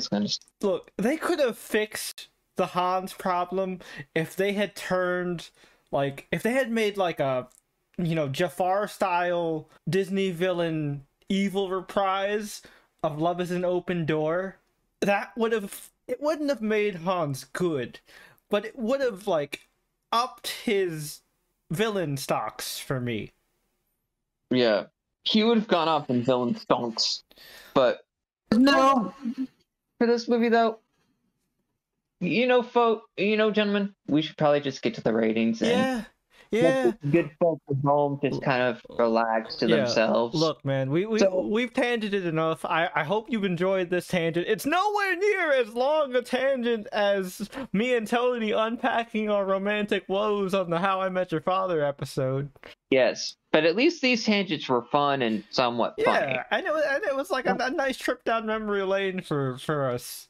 Uh, but Yeah. yeah, Yeah. Let's start with Brian. What's yeah, your you- rating and your thoughts? like I said, this was somewhat good, and it would have been better as a pilot. And I know you were talking about two part pilot. Mhm. No, I think this could have been good as just trim down the whole thing to one episode of a show yeah. pilot mhm. Mm. and have the show just be her going to different fairy tales. Yeah, figuring out like, murders. Like just cut out the last forty minutes, make this like an hour long episode pilot. Yeah, no, I, I, yeah, that probably would fix a lot of the problems. Yeah. Trim up the pacing, stuff like that. But uh as it is, as we have seen, I think honestly, because I don't remember it's been a while, I might unintentionally be giving this the same rating that I gave Monkey King. Okay. but I do think this is just slightly better than that one movie. But in the end, I feel like after talking about it with you guys and figuring out all the negatives, I've got to give it a 6.5.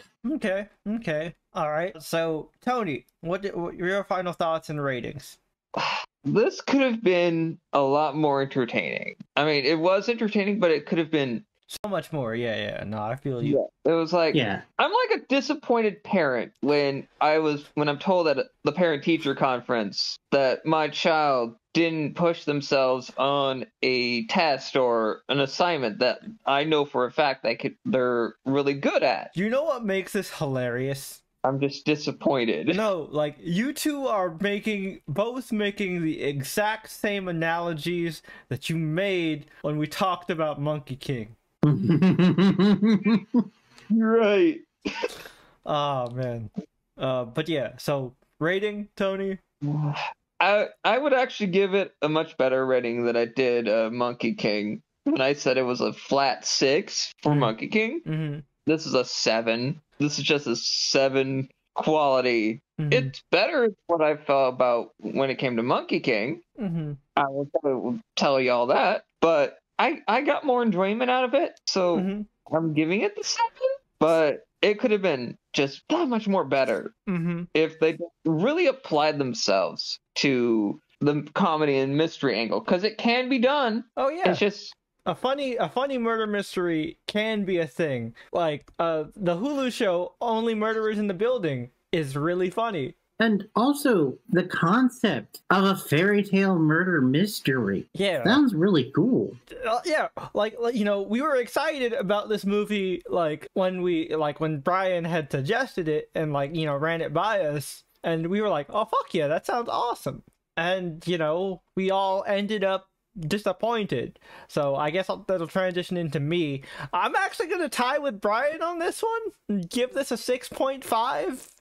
It's aggressively meh, but I didn't hate it. So I can't like bring it down to like a 5. Yeah, I didn't hate it, but also thinking about all the negatives, I couldn't, for me at least personally, couldn't give it a seven. Mm-hmm. Same. Yeah. Seven, seven, fe- seven felt too high for me. Uh, but six felt too low. So I, I'm with, uh, you know, I just, I decided to, you know, side with Brian on this one and go with the six point five. and I and I could see your guys' point about that, but Mhm. after my experience with Monkey King, and that to me was more aggressively mid Oh yeah. than this. no, I, no, I, I, I feel you. So Yeah, I honestly just had to go with my gut Look, and As, as someone who gave it a flat six, I, I understand. in hindsight, I'd actually think that I'd give Monkey King a lower score. It- right? Oh man. Yeah. Um, but yeah, don't get it twisted, folks. The movie is worth your time if you have free time to kill. But I hope you're a theater person. either a theater person or a costume person, because like Tony said, most of the costumes here are like gorgeous. Except yeah, The except two- for that unfortunate. The unfortunate two dress fairy that Tony brought up. godmothers. Oh, dude, they killed it. oh yeah, I I think personally their outfits are fun because uh, Barbara's goofy tassels on uh, her the front part of her design is just Mhm. so extra, and I love it. yeah, it's it's very whimsical. Yeah. The actress themselves was very extra, and I was here for it. Mhm. I loved it, every minute of it. Yeah. Extra. And they were good, like, yin and yang. yeah, Yep. like It like- look folks if you don't like the like over the top very theatrical performances this movie's not for you Hmm.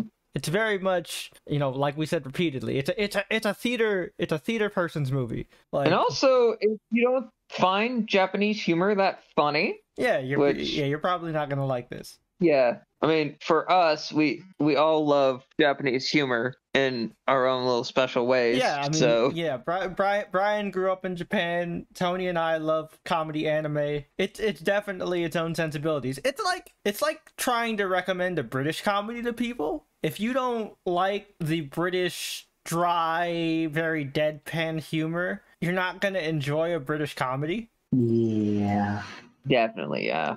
So like it the same principle kind of applies. So, you know, view at your own discretion, folks. But we hope you enjoyed this tangent-filled episode of the Channel Chasers podcast.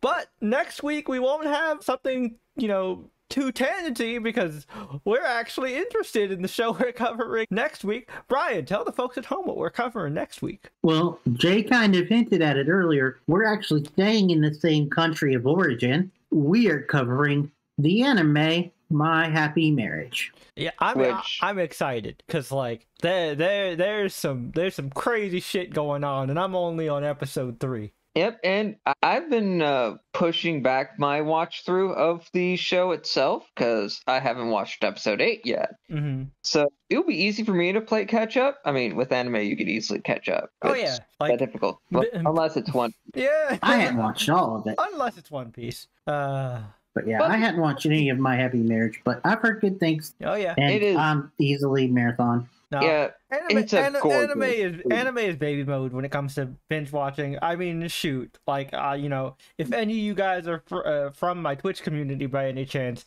you guys know back when back when like you know the regulars had a lot more free time, we would you know constantly do anime nights where we would fucking watch an entire season of a show in in one sitting. I mean, that's how I ended up watching uh, Dress Up Darling. Yep. which that is a great show Yep. and a great mom. Also, shout out to Mayumi because we got her to watch the feels bomb that is Rascal Does Not Dream of Bunny Girl Senpai. Oh my god. And for the deepest of cuts, for those of you who recall us mentioning this, Jay and I on my once thriving YouTube channel did an anime podcast with our buddy Jordan. Yep. And this was one of the things that made us three grown men cry like children. Oh yeah, dude. Like it, it was a, it was a whole experience cuz like we, we we found out the movie came out at the same time and we just started like we op- we opened up a group DM on Discord and we're like we're like okay, everybody start at the same time. All right. three, two, one, go. And we all got to the part at relatively the same time, and we were like, Mhm. "All right, can we can we jump in a voice call real quick? I, I don't know how to process this." I my my Mhm. soul left my body. Uh, I was so filled with emotion. And then Jordan fucked us up even more when we discovered the genius marketing tactic of that movie. Clever bastards. Oh man, look, look, man.